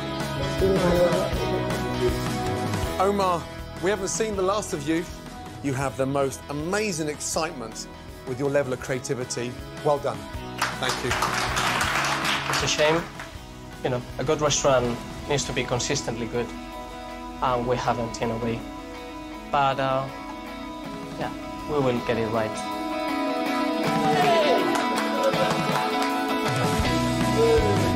It's a great thing for, for the team, for the restaurant, for me, especially for me. It's, um, I can't, can't even speak. It's, it's, it's unbelievable. What an extraordinary day. So sorry to see El Pirata leave the competition, but so happy for Fino to get to the semi-finals. And now, the real battle begins. To be in with a chance of becoming my best restaurant, all my semi-finalists will need to be faultless. You've got to take criticism seriously. I want to know if they've corrected the problems I identified earlier in the competition. It needed more seasoning. To help me find out, I've sent back in my team of secret diners. Two of these restaurants will be leaving the competition immediately. First to risk the chop is my best Italian, Casamia from Bristol. Brothers Jonray and Peter are young and ambitious and produce delicious food. But earlier in the competition, I discovered that some of their avant garde dishes were confusing diners. Is the fish meant to be cooked like this? It's a bit of a strange consistency. It is. I sent in a new secret diner, food expert Rob Allison, to find out if the boys are reined in their wild experimentation. These guys definitely understand flavours. They absolutely totally understand it. In the star anise, I've never thought of it working with olives. I've never even imagined it before. It works deliciously. Every time these boys create a dish, there's huge jeopardy. Olives with star anise doesn't sound like a perfect combination, but yet again, they've pulled it off. Next, roast lamb sous vide with kidneys and pine nuts. The lamb is delicious. The best end and the kidney. Um, it all works so well with the pine nuts. But what about the addition of vacuum-packed cucumber to the dish? I'm not too sure.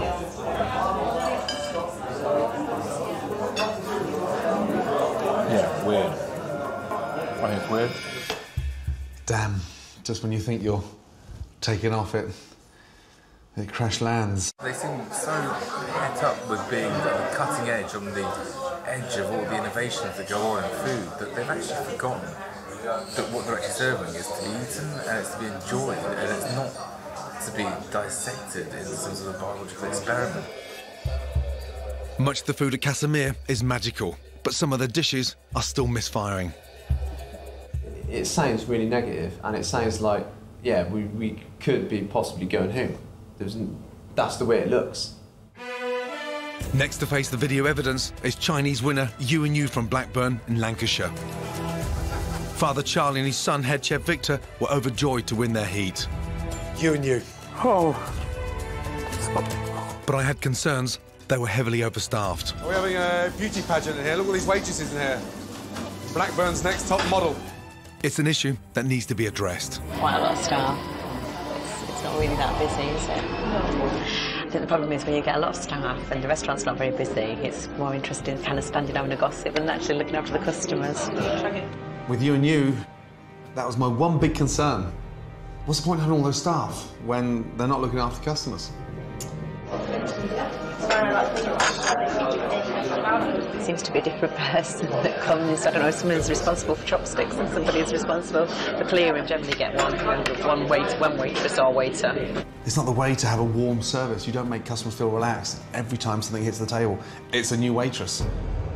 I'm looking for the best restaurant on a daily basis, with the best food and the best service, and I want to see restaurants get better. Despite the setback, I'm pleased to see Yu and You are still serving up wonderful food. Nice, nice crunchy apple. I thought the apple would be a little bit softer, but it's nice and crunchy. And the batter's actually really light. It tastes really nice. That's a real strong element with Yu and You. They are constantly pushing the boundaries out, and they're trying to reinvent Chinese cuisine, but with a 21st century approach. Nice. Nam Jim was my champion Thai from St Andrews in Scotland. It's a great restaurant, but my undercover cameras discovered really surprising problems with service. What? That ranks as about the most aggressive service I've ever seen in my life. Will my new secret diner get better treatment? You know the beef Penang curry? You don't do like a chicken or a, a prawn version of that, do you? We can do it, yes. You can do it? Yeah, Oh, lovely. chicken or prawn, yes. Could I have prawn? Prawn, yes. Great flexibility from the dining room staff. Um, she didn't want the chicken, the beef curry. She wanted prawns, and so they did it. It wasn't even on the menu. The service is miles better. What about the food? When I went there, I discovered that some of the dishes were slow in leaving the kitchen. Mm. It's not hot. The sauce isn't hot, and the um, the rice isn't very warm either. It should be really hot when it comes to the table. Damn. Food not piping hot. It was always a concern. If food hangs on the hot plate, it shouldn't sit there. As it sits there, the goodness is disappearing, but more importantly, the food's getting cold. My best Spanish, Fino, is the final restaurant to stare elimination in the face. They barely put a foot wrong in their heat. Head chef Nieves produces authentic Spanish food that has impressed everyone. My undercover critic Simon Davis is there to see if they've kept their standards up. Ah, is that the prawn croquetas?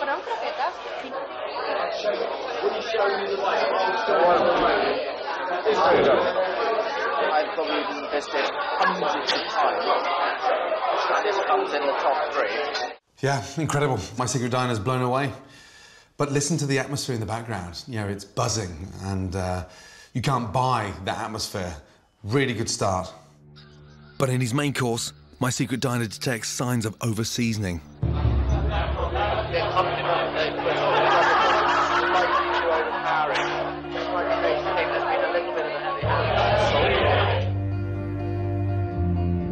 Um, first bit of negative feedback for my secret diner. Slightly clumsy on the seasoning. What a shame. I've told all four restaurants to expect my call. They know that I'm looking for perfection, but only two will survive this stage. It's the moment of truth. I am nervous. Whether we've done enough, I can't. uh, I can't answer that. Let's hope so. May I speak to Sam, please? How are you? Sam, I'm very well, thank you. How are you? Yeah, not bad, thanks. Not bad. Hi. Um, is that Victor? It is, yes. How do you feel? Uh, nervous. Yeah. Unfortunately, um, a couple of dishes were slightly heavy-handed with the seasoning. I'm deeply concerned about all those staff. I want to see restaurants get better and climb across this competition. And Yu and You.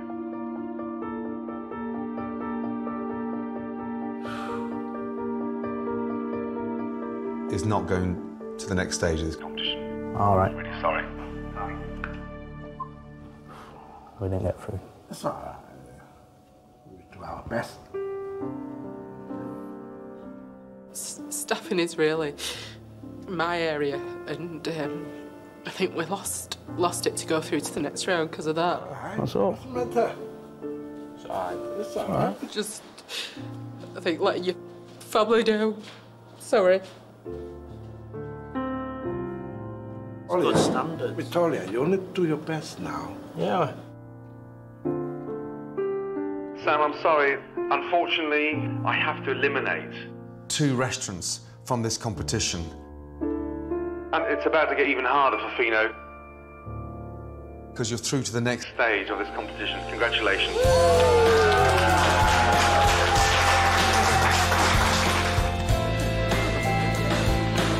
It's good. Um, my legs is shaking now, so it's good. It's a, it's a good sign. It's a good sign.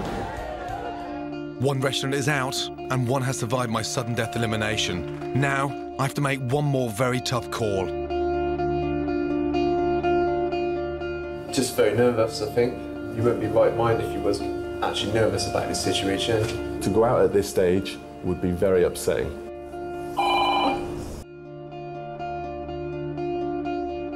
It's the first semi-final of my nationwide restaurant competition. Spanish Heat winners Fino have survived my secret dining elimination. Now it's down to my best Thai, Nam Jim, and my top Italian, Casamia.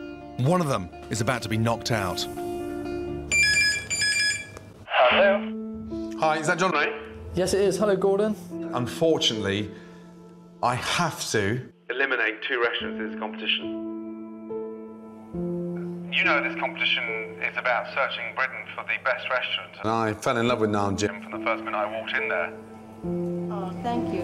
Whatever happens after this Phone call, you've got to continue.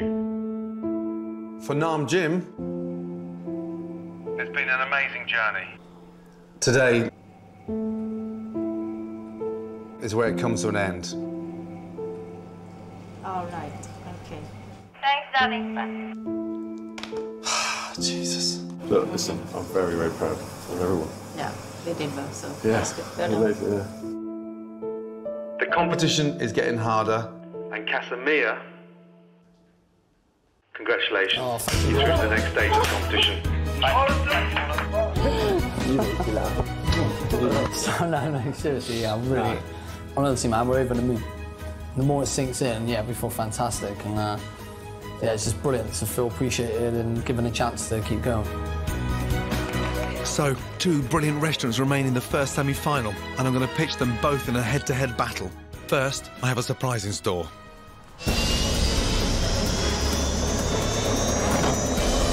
I'm about to drop in unexpectedly for a meal on avant garde family run Italian restaurant Casamia from Bristol and modern Spanish tapas restaurant Fino from London. To help me decide who will make it to the final, I've enlisted two trusted lieutenants for a second opinion on strengths and weaknesses of these two restaurants. Together table 90, menu prestige, foie gras. Angela Hartnett, one of the most successful British chefs of the last 15 years. Service. And Simon Davis, one of my secret diners, an expert in putting restaurants through their paces. They know the restaurant business inside out. I trust their opinions implicitly. The Casamia boys, two very talented young individuals. Beware, it's not your classic local Italian eatery. Let's go and catch them off guard. Yeah, totally.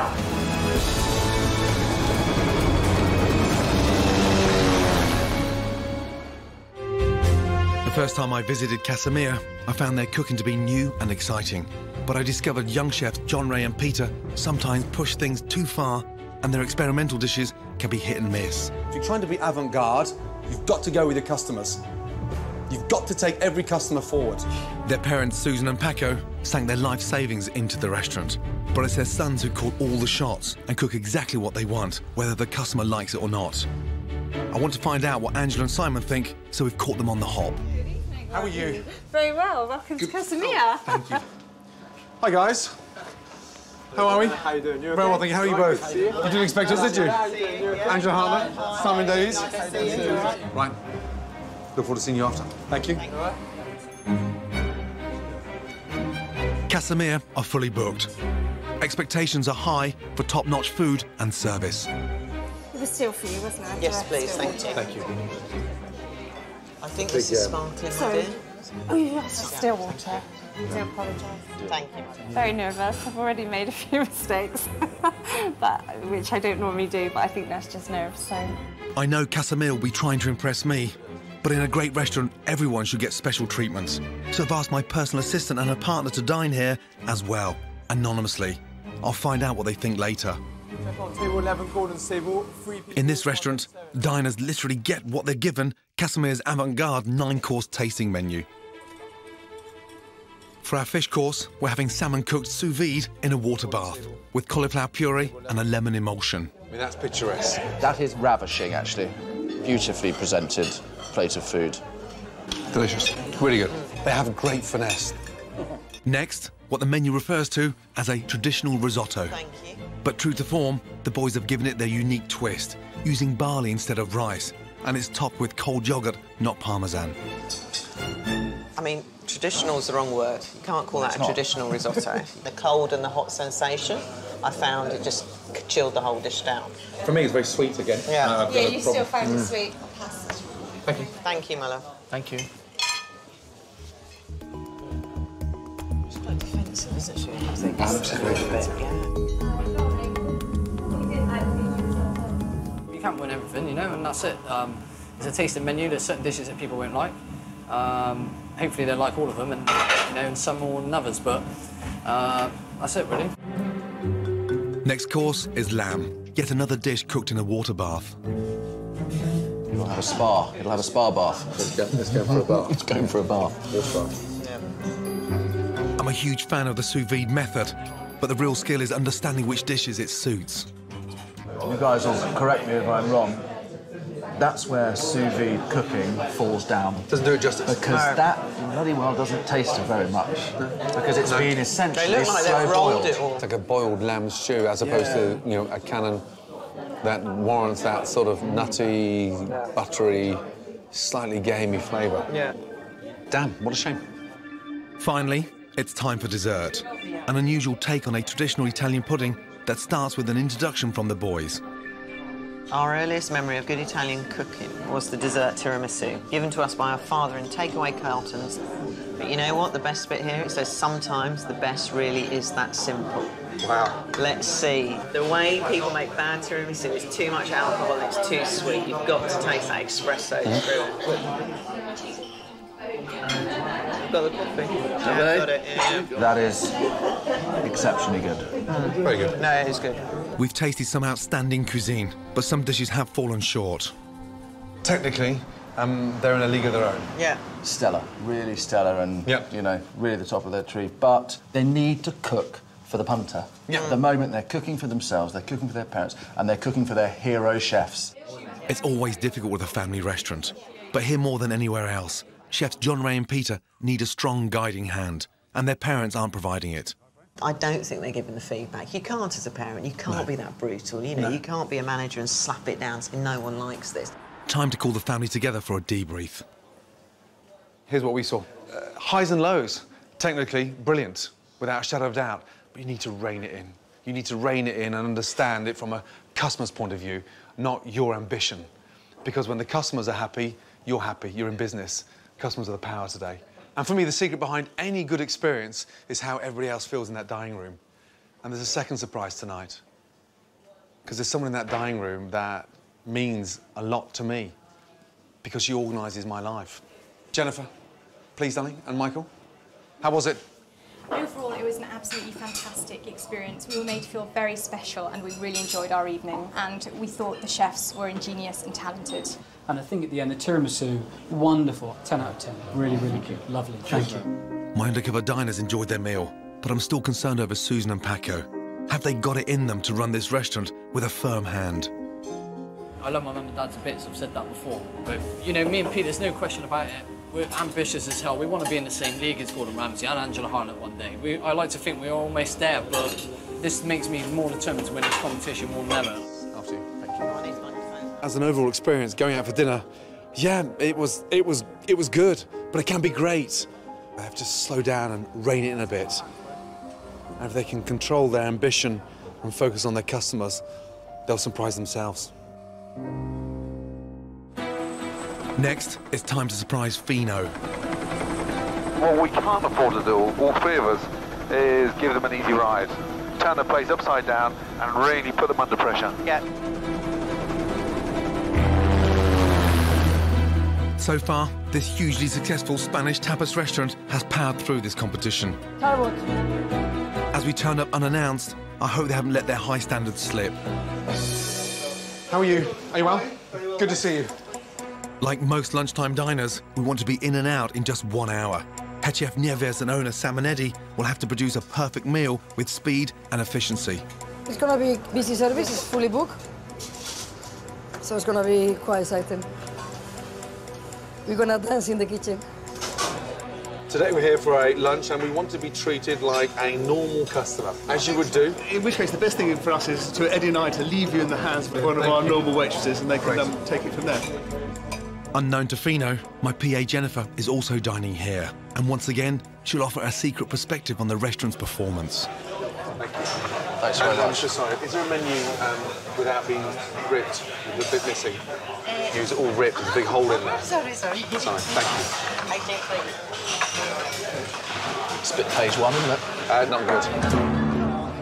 One of the first dishes to arrive is chipirones, deep fried baby squid.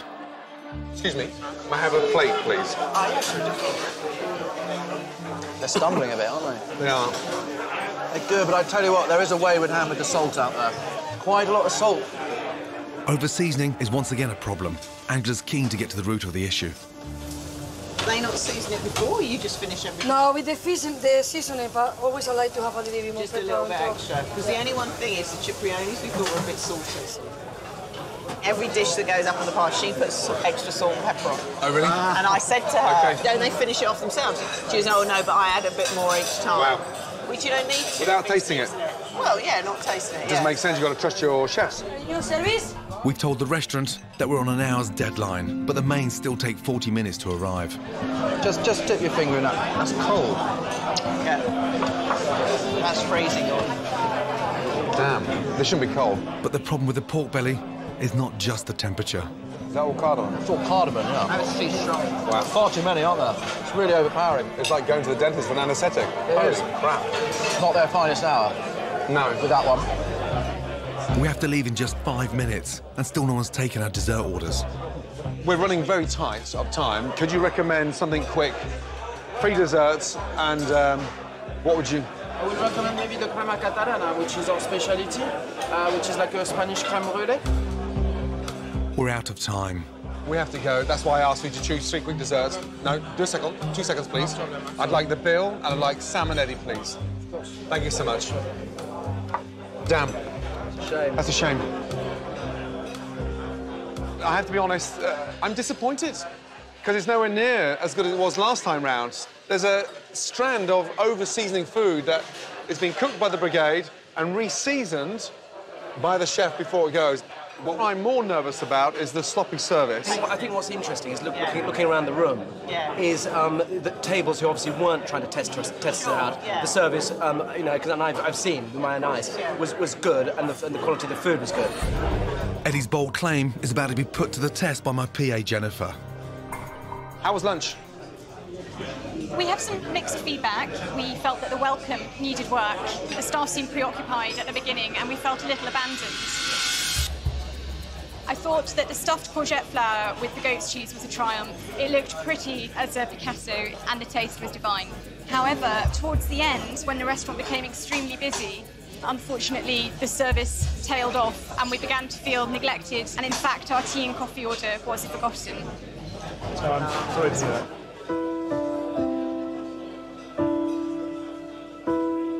Said before, we like to be the best, we like to win, and obviously it's, it's not a great day when, when, it, when it goes wrong. Carpet's suddenly being taken out from under our feet, um, and that's not a, a, a good feeling. My last experience here was near flawless, and it was almost on the verge of perfection. That was embarrassing. Great restaurants need to be flexible and constantly evolve to survive through these difficult times. So I want my semi-finalists, Casamia and Fino, to really prove to me they can create something extraordinary against all odds. They both now face one grueling test for a place in the final, a challenge like they've never, ever experienced before. In just 12 hours, they must turn this bare shell into a thrilling, vibrant pop-up restaurant open for one night only.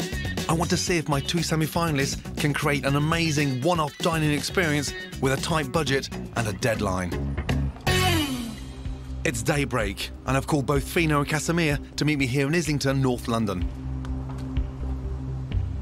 Good morning. morning. It's early, right? And you're probably thinking, what in the hell am I doing here?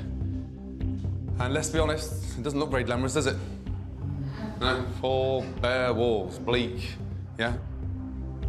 Today, you're going to transform this boring, somewhat cold shell into the most amazing, unique pop-up restaurant. Forget your restaurant. Create something magical. Good luck.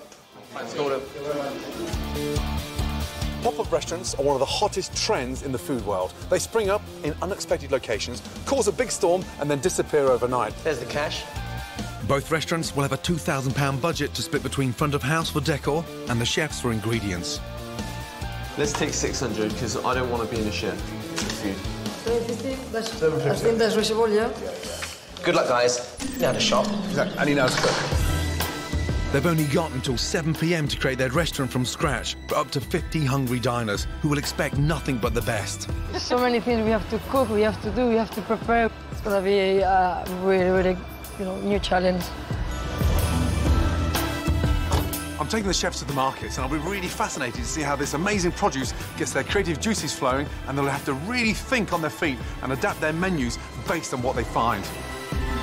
First up, the butchers. Free-range chicken fillets, guinea fowl, duck breast. What's going through your mind? Because you've got to start coming up. Main course, one of them. What is it going to be? Okay, you guys. Yeah. yeah, I've got to get that locked down. Peter, we've got to think about this for the next five goddamn minutes. Exactly what we're going to do. Throughout this competition, Casamia have produced some amazing food, but some of it has been so experimental it has missed the mark. Will they be tempted to show off tonight, or will they rein it in for their diners? Right, I think it's going to cost you around about six pound a portion. But Peter and Jonray are tempted by a real Rolls-Royce ingredient, beef. They'd love to cook it sous vide with a frogale parfait served with popcorn. The thing is, we're not going to have a water baths, are we? Uh, there's not been a water bath in sight. You can cook without a fucking water bath. Let's get that Yeah, right, yeah, yeah? yeah. Quite easily. So you've got to come out of that frame for a minute and, and go back to the beginning. I want these boys to forget some of their wild experimentation. Tonight, can they cook something simple and perfect with no frills? What do we get for pork? All this is the belly pork. Yeah. We, we're gonna go for the belly pork. Nice. Fino's head chef Nieves cooks fantastic Spanish tapas and pork features heavily on their menu. But I want to see if she can go one step further and do something extraordinary for this one night only. You're very comfortable with pork, aren't you? We love, we love pork. Yeah. And you do it as a main course, starter, or It's gonna be as a main course. because there are other cuts. You know, you've got the most amazing loin. I know, I know, but people love belly pork. Mm-hmm. They love it, you know, crispiness, tender. So Play to your we- hopefully, hopefully I get it right. So 14 of those. Decision made. Pork belly, a great cheap cut. Good luck. Thank you very much. Thanks. Is that the right thing to do, or is it not? But Jonray and Peter still can't decide between flashy beef or simple pork. All oh, I know it's a big decision, man. Yeah. You're gonna be right this shit. And time is running out fast. Pork fillet roasted, slightly cure it, and then we pan fry it. Let's do pork. Excuse me. We're going to change it. Change our change the We're going decision. to change it. Yeah, we We're going to change Gordon. We go back to our old Casamia roots. Go with the pork. It's cheaper. It's got great flavour. We have to Yeah. work it harder. We That's have to work the flavours through our better. head as well. Our plan is to cure it, and then it'll be That's a little bit. So Your decision. Sorry to change your mind. No beef, pork. Where's the pork fillet? Ever so size, sir. Let's go. Made a right decision. I'm surprised Casamia have gone for pork too, but they've chosen a prime cut as well as a belly, and I'll be fascinated to see what both restaurants do with it. One night only. Let's see what they've given us. A successful restaurant isn't just about fabulous food. The front of house teams must race against the clock to bring their pop-up restaurants to life. Actually, that's, that's cheaper. I think that's nicer. It's cheaper and nicer. They're working to a tight budget, and I want to see how creative they can be. I, I personally think that we ought to go no cloth I think so. and wooden table. Sam and Eddie, helped by one of their managers, Kashka, are going for a simple Spanish feel. I mean, that's not bad, is it? No. I don't think the boys will be pleased with that. Look at that. No, Straight. Helped by the restaurant manager, Anne, Susan and Paco are downstairs trying to choose crockery the boys will like. It's stressful, isn't it? There are real bargains to be had at 15 pence a plate, but they're scared it won't meet the boys' high expectations. I'm feeling very stressed. I'm just worried we're not going to get it all done. Across London, I'm taking the chef to another of my favourite markets for fish. Right now, this is a dream come true for any chef because this produce is incredible. It's too much of a choice. Too much choice. Just trying to get the right, the right fish. Doesn't get any better than this. Nieves is drawn to the delicious mackerel and wild sea bass. It's incredible. Oh, it's amazing, lad. It's amazing, amazing. The wild sea bass is an irresistible ingredient for the young chefs from Casamia too. Excellent. Decision done. Good. brilliant. Good. In Chelsea, Paco, Susan and Anne have decided to search for plates in a department store, but time is tight and they'll have just 40 minutes to get everything they need. Excuse me, could you tell me how much those are? Each. They're five pound each. Oh my god. Do you do anything cheaper than these, or is this the cheapest? Here, the plates start from £2 each, but Susan could have got similar back at base for just 15 pence. So if we could have 35 of these, 35 of these, 35 of those. It's a costly decision. Spending more money on plates here means they'll have less to spend on the look of the restaurant. Okay, okay, let me think, let me think. Should we just put What some big the- candles around? We need some flowers as well. We need to get our We got no money. We're in, in real shit here. What are we gonna put on the tables? Come on, guys, we're racing to. What are we gonna put on the Come table? on, then, let's take these then. We, we ain't got no choice. Okay, so we can have different coloured ones. I know the boys are going to hate it, but they're cheaper and um, we need to have some ready. One more. That's five of each. That's £469.40, please. One. No, they don't. They don't. Oh, it's okay. It's okay. It's okay. So, all right, come on. This is. They're a little bit stressed out, but this, that's what, what Gordon promised. Sweat and tears, isn't eh, it? Come on. No, I'm just Come on, we're gonna enjoy this. I'm just tired and stressed, and I'm just worried about this evening. This but I will get through okay, this. all right? Yeah. May- It may not be the best decoration and the best looking restaurant in the world, but the service and the food are going to be Yeah. extraordinary. Okay? So, yeah, I think, think focus on that, okay, Susie? Okay. Mm-hmm. Mwah. let's Come on, go. focus on that. It's midday. Just seven hours left for the teams to create their pop-up restaurants. Back at base, they're taking delivery of their furniture and crockery. Nice. It now looks like a Japanese restaurant. Oh, Paco, we've had it now. Susan's um, out of depth. They need to understand a pop-up is a one-night only mega experience, and this is it. Show off, create those fireworks because that's what's going to make your restaurant win this competition. Stop it. Let's just cut this shit now. Let, guys, we've only got three hours, right? Fuck it. Who cares? We're gonna do it. We're gonna do it well. Come on then. Come on then. Upstairs, I get the sense that Posh Boy Sam and Eddie haven't been to IKEA before. And didn't realise that their eight natural wood tables come flat packed.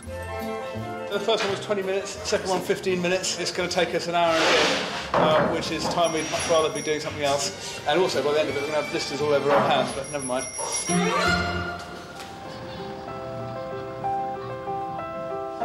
Downstairs, Paco and Susan are working on the finishing touches.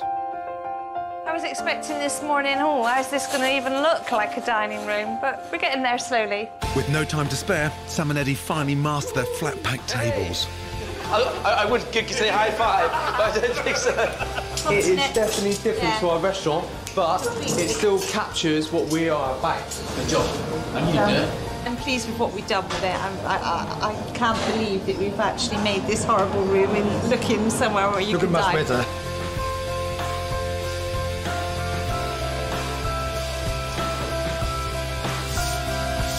Yeah, we're there, just. We are there. It's um, you know, it's been it's been a close run thing this afternoon, but we're sorted. It's seven o'clock. Queues of hungry diners wait to be seated.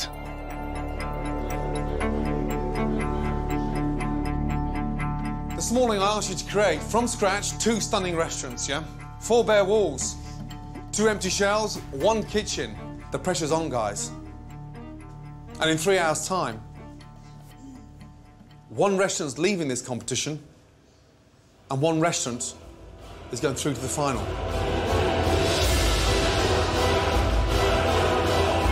They have just three hours to impress with a thrilling one-off dining experience.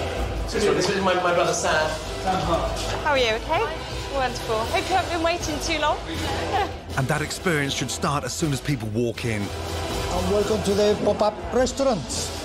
I've got a table of three just here. Tomato mozzarella salad. Tomato mozzarella. Okay, Casamia Restaurant, check on table Wow. four. You got the first order in in five minutes. Well- Susan, you're feeling okay?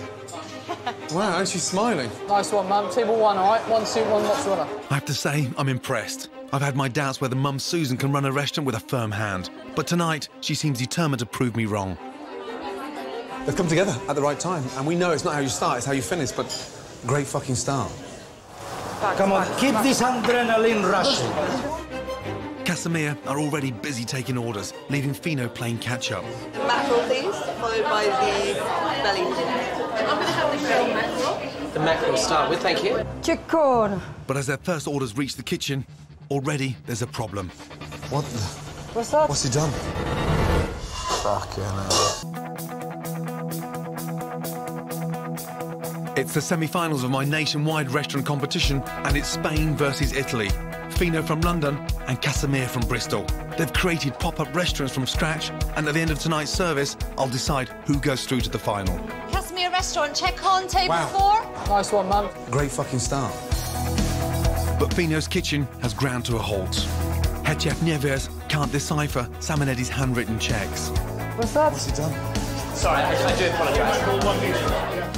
You know, struggling. I mean, they really are struggling, and um, they don't seem as gelled as they should be. Service, please.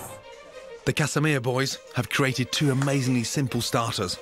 On their menu, a delicious fresh tomato jam salad with mozzarella dusted in parmesan.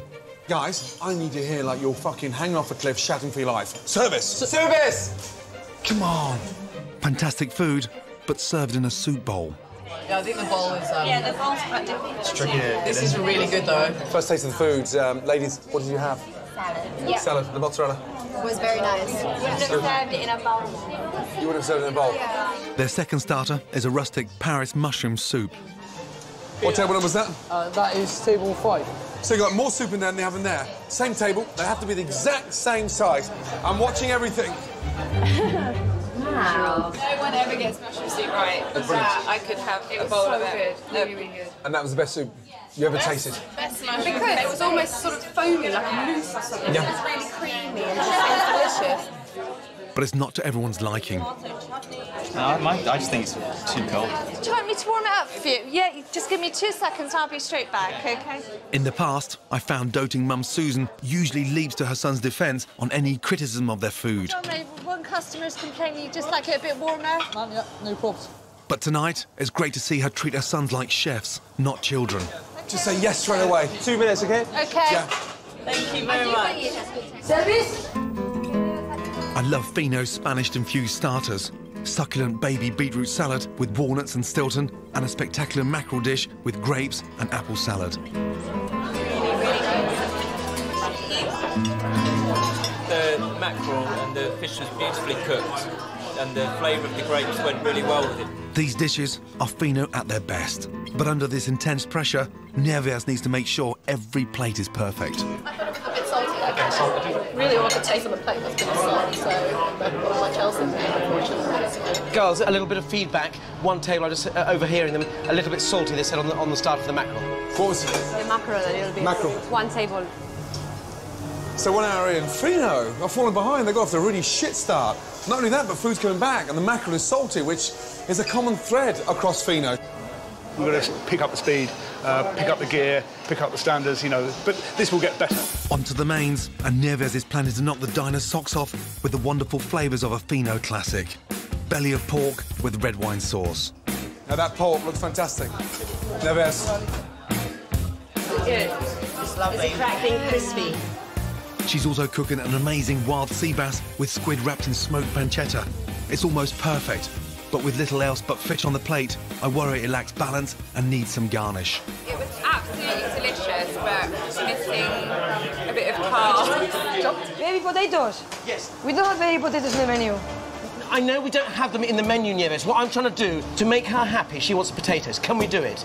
Yes. If we can do them, Chef, please, I think it'll sort out a, a situation, OK? My one concern with the bass was no starch on there. The rich sauce, the squid, it needs a start. Do you know, it needs something along those lines, but we can boil potatoes. It takes six or seven minutes. I love the way Fino are doing everything they can to please their customers. Great, thank you. Six. Three Santiago's, one fig, please. These are like the most delicious potatoes. potatoes. potatoes. Pete, how long? Two bass, one port. You said two minutes, two minutes ago. Uh, there'd be about five, uh, four minutes, Chef. Five minutes. Let's just, I've let's got just it in the oven, mate. Let's just the oven. fucking go for it. I've got it in the oven, man. Back in the kitchen, Jonray and Peter are also serving pork, but they're mixing belly with prime cut fillet topped with Italian garnishes. Service, Casamia. Quite sweet. The boys are also creating a fantastic Italian sea bass with cannellini beans. I love it because it's so simple, no wild avant-garde frills for this dish. Wow, you're going to enjoy that. I had the sea bass for my main course. The skin was crispy, the, the fish was cooked perfectly. Table one, main course back, said that was the best piece of fish she's ever had in her life. Fino are finishing with a classic Spanish dessert, Santiago tart. Could this popular sweet be their winning touch? Oh, that's good. Yeah, and I'm not a dessert person. I thought the flavours of the almond was really lovely in the tart. Thank you. Ladies, it's me again. The good-looking one.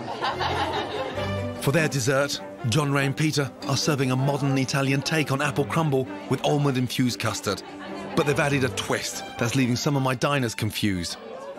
The apple's kind of like lukewarm, but the rest of it is very cold. Um, just not sure.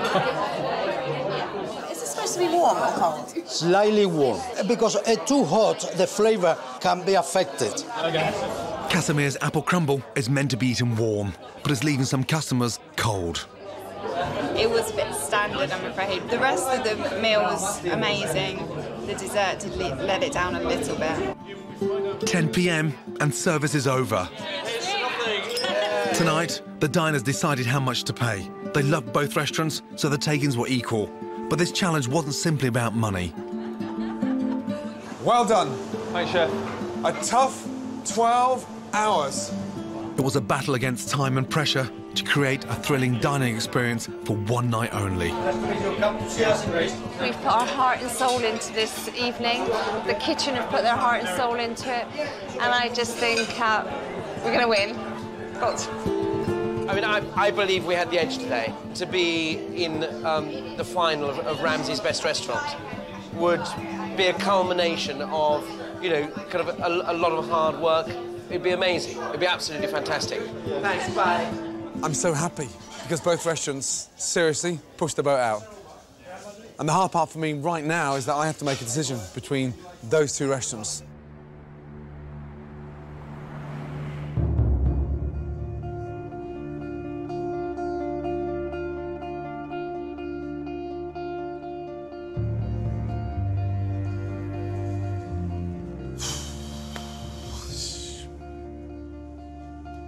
This has been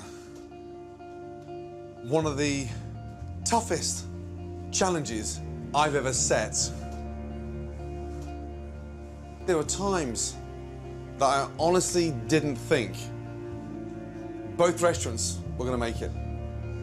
And I started to panic. And as the clock ticked away, the restaurants just started emerging, becoming individual restaurants with identity, character. The atmosphere in both restaurants, amazing. The food, stunning. And on the back of the last three hours, you've made it incredibly difficult for me to decide on which restaurant's going through to the final. That's what a pop-up restaurant is all about. A one-off, one night only, unique experience. And on the back of that performance, it's such a close call. Based on everything I've seen. These guys definitely understand flavours. Let's see how the cucumber goes with all this. Yeah, weird. Prawn croquetas.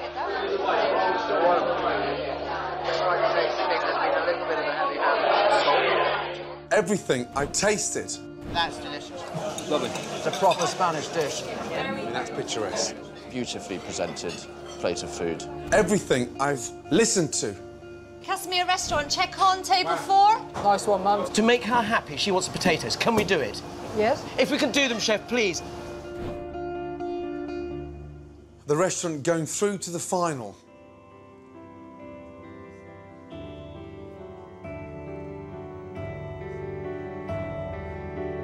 Is Casamia. Yes! Yes! Yes, Sam.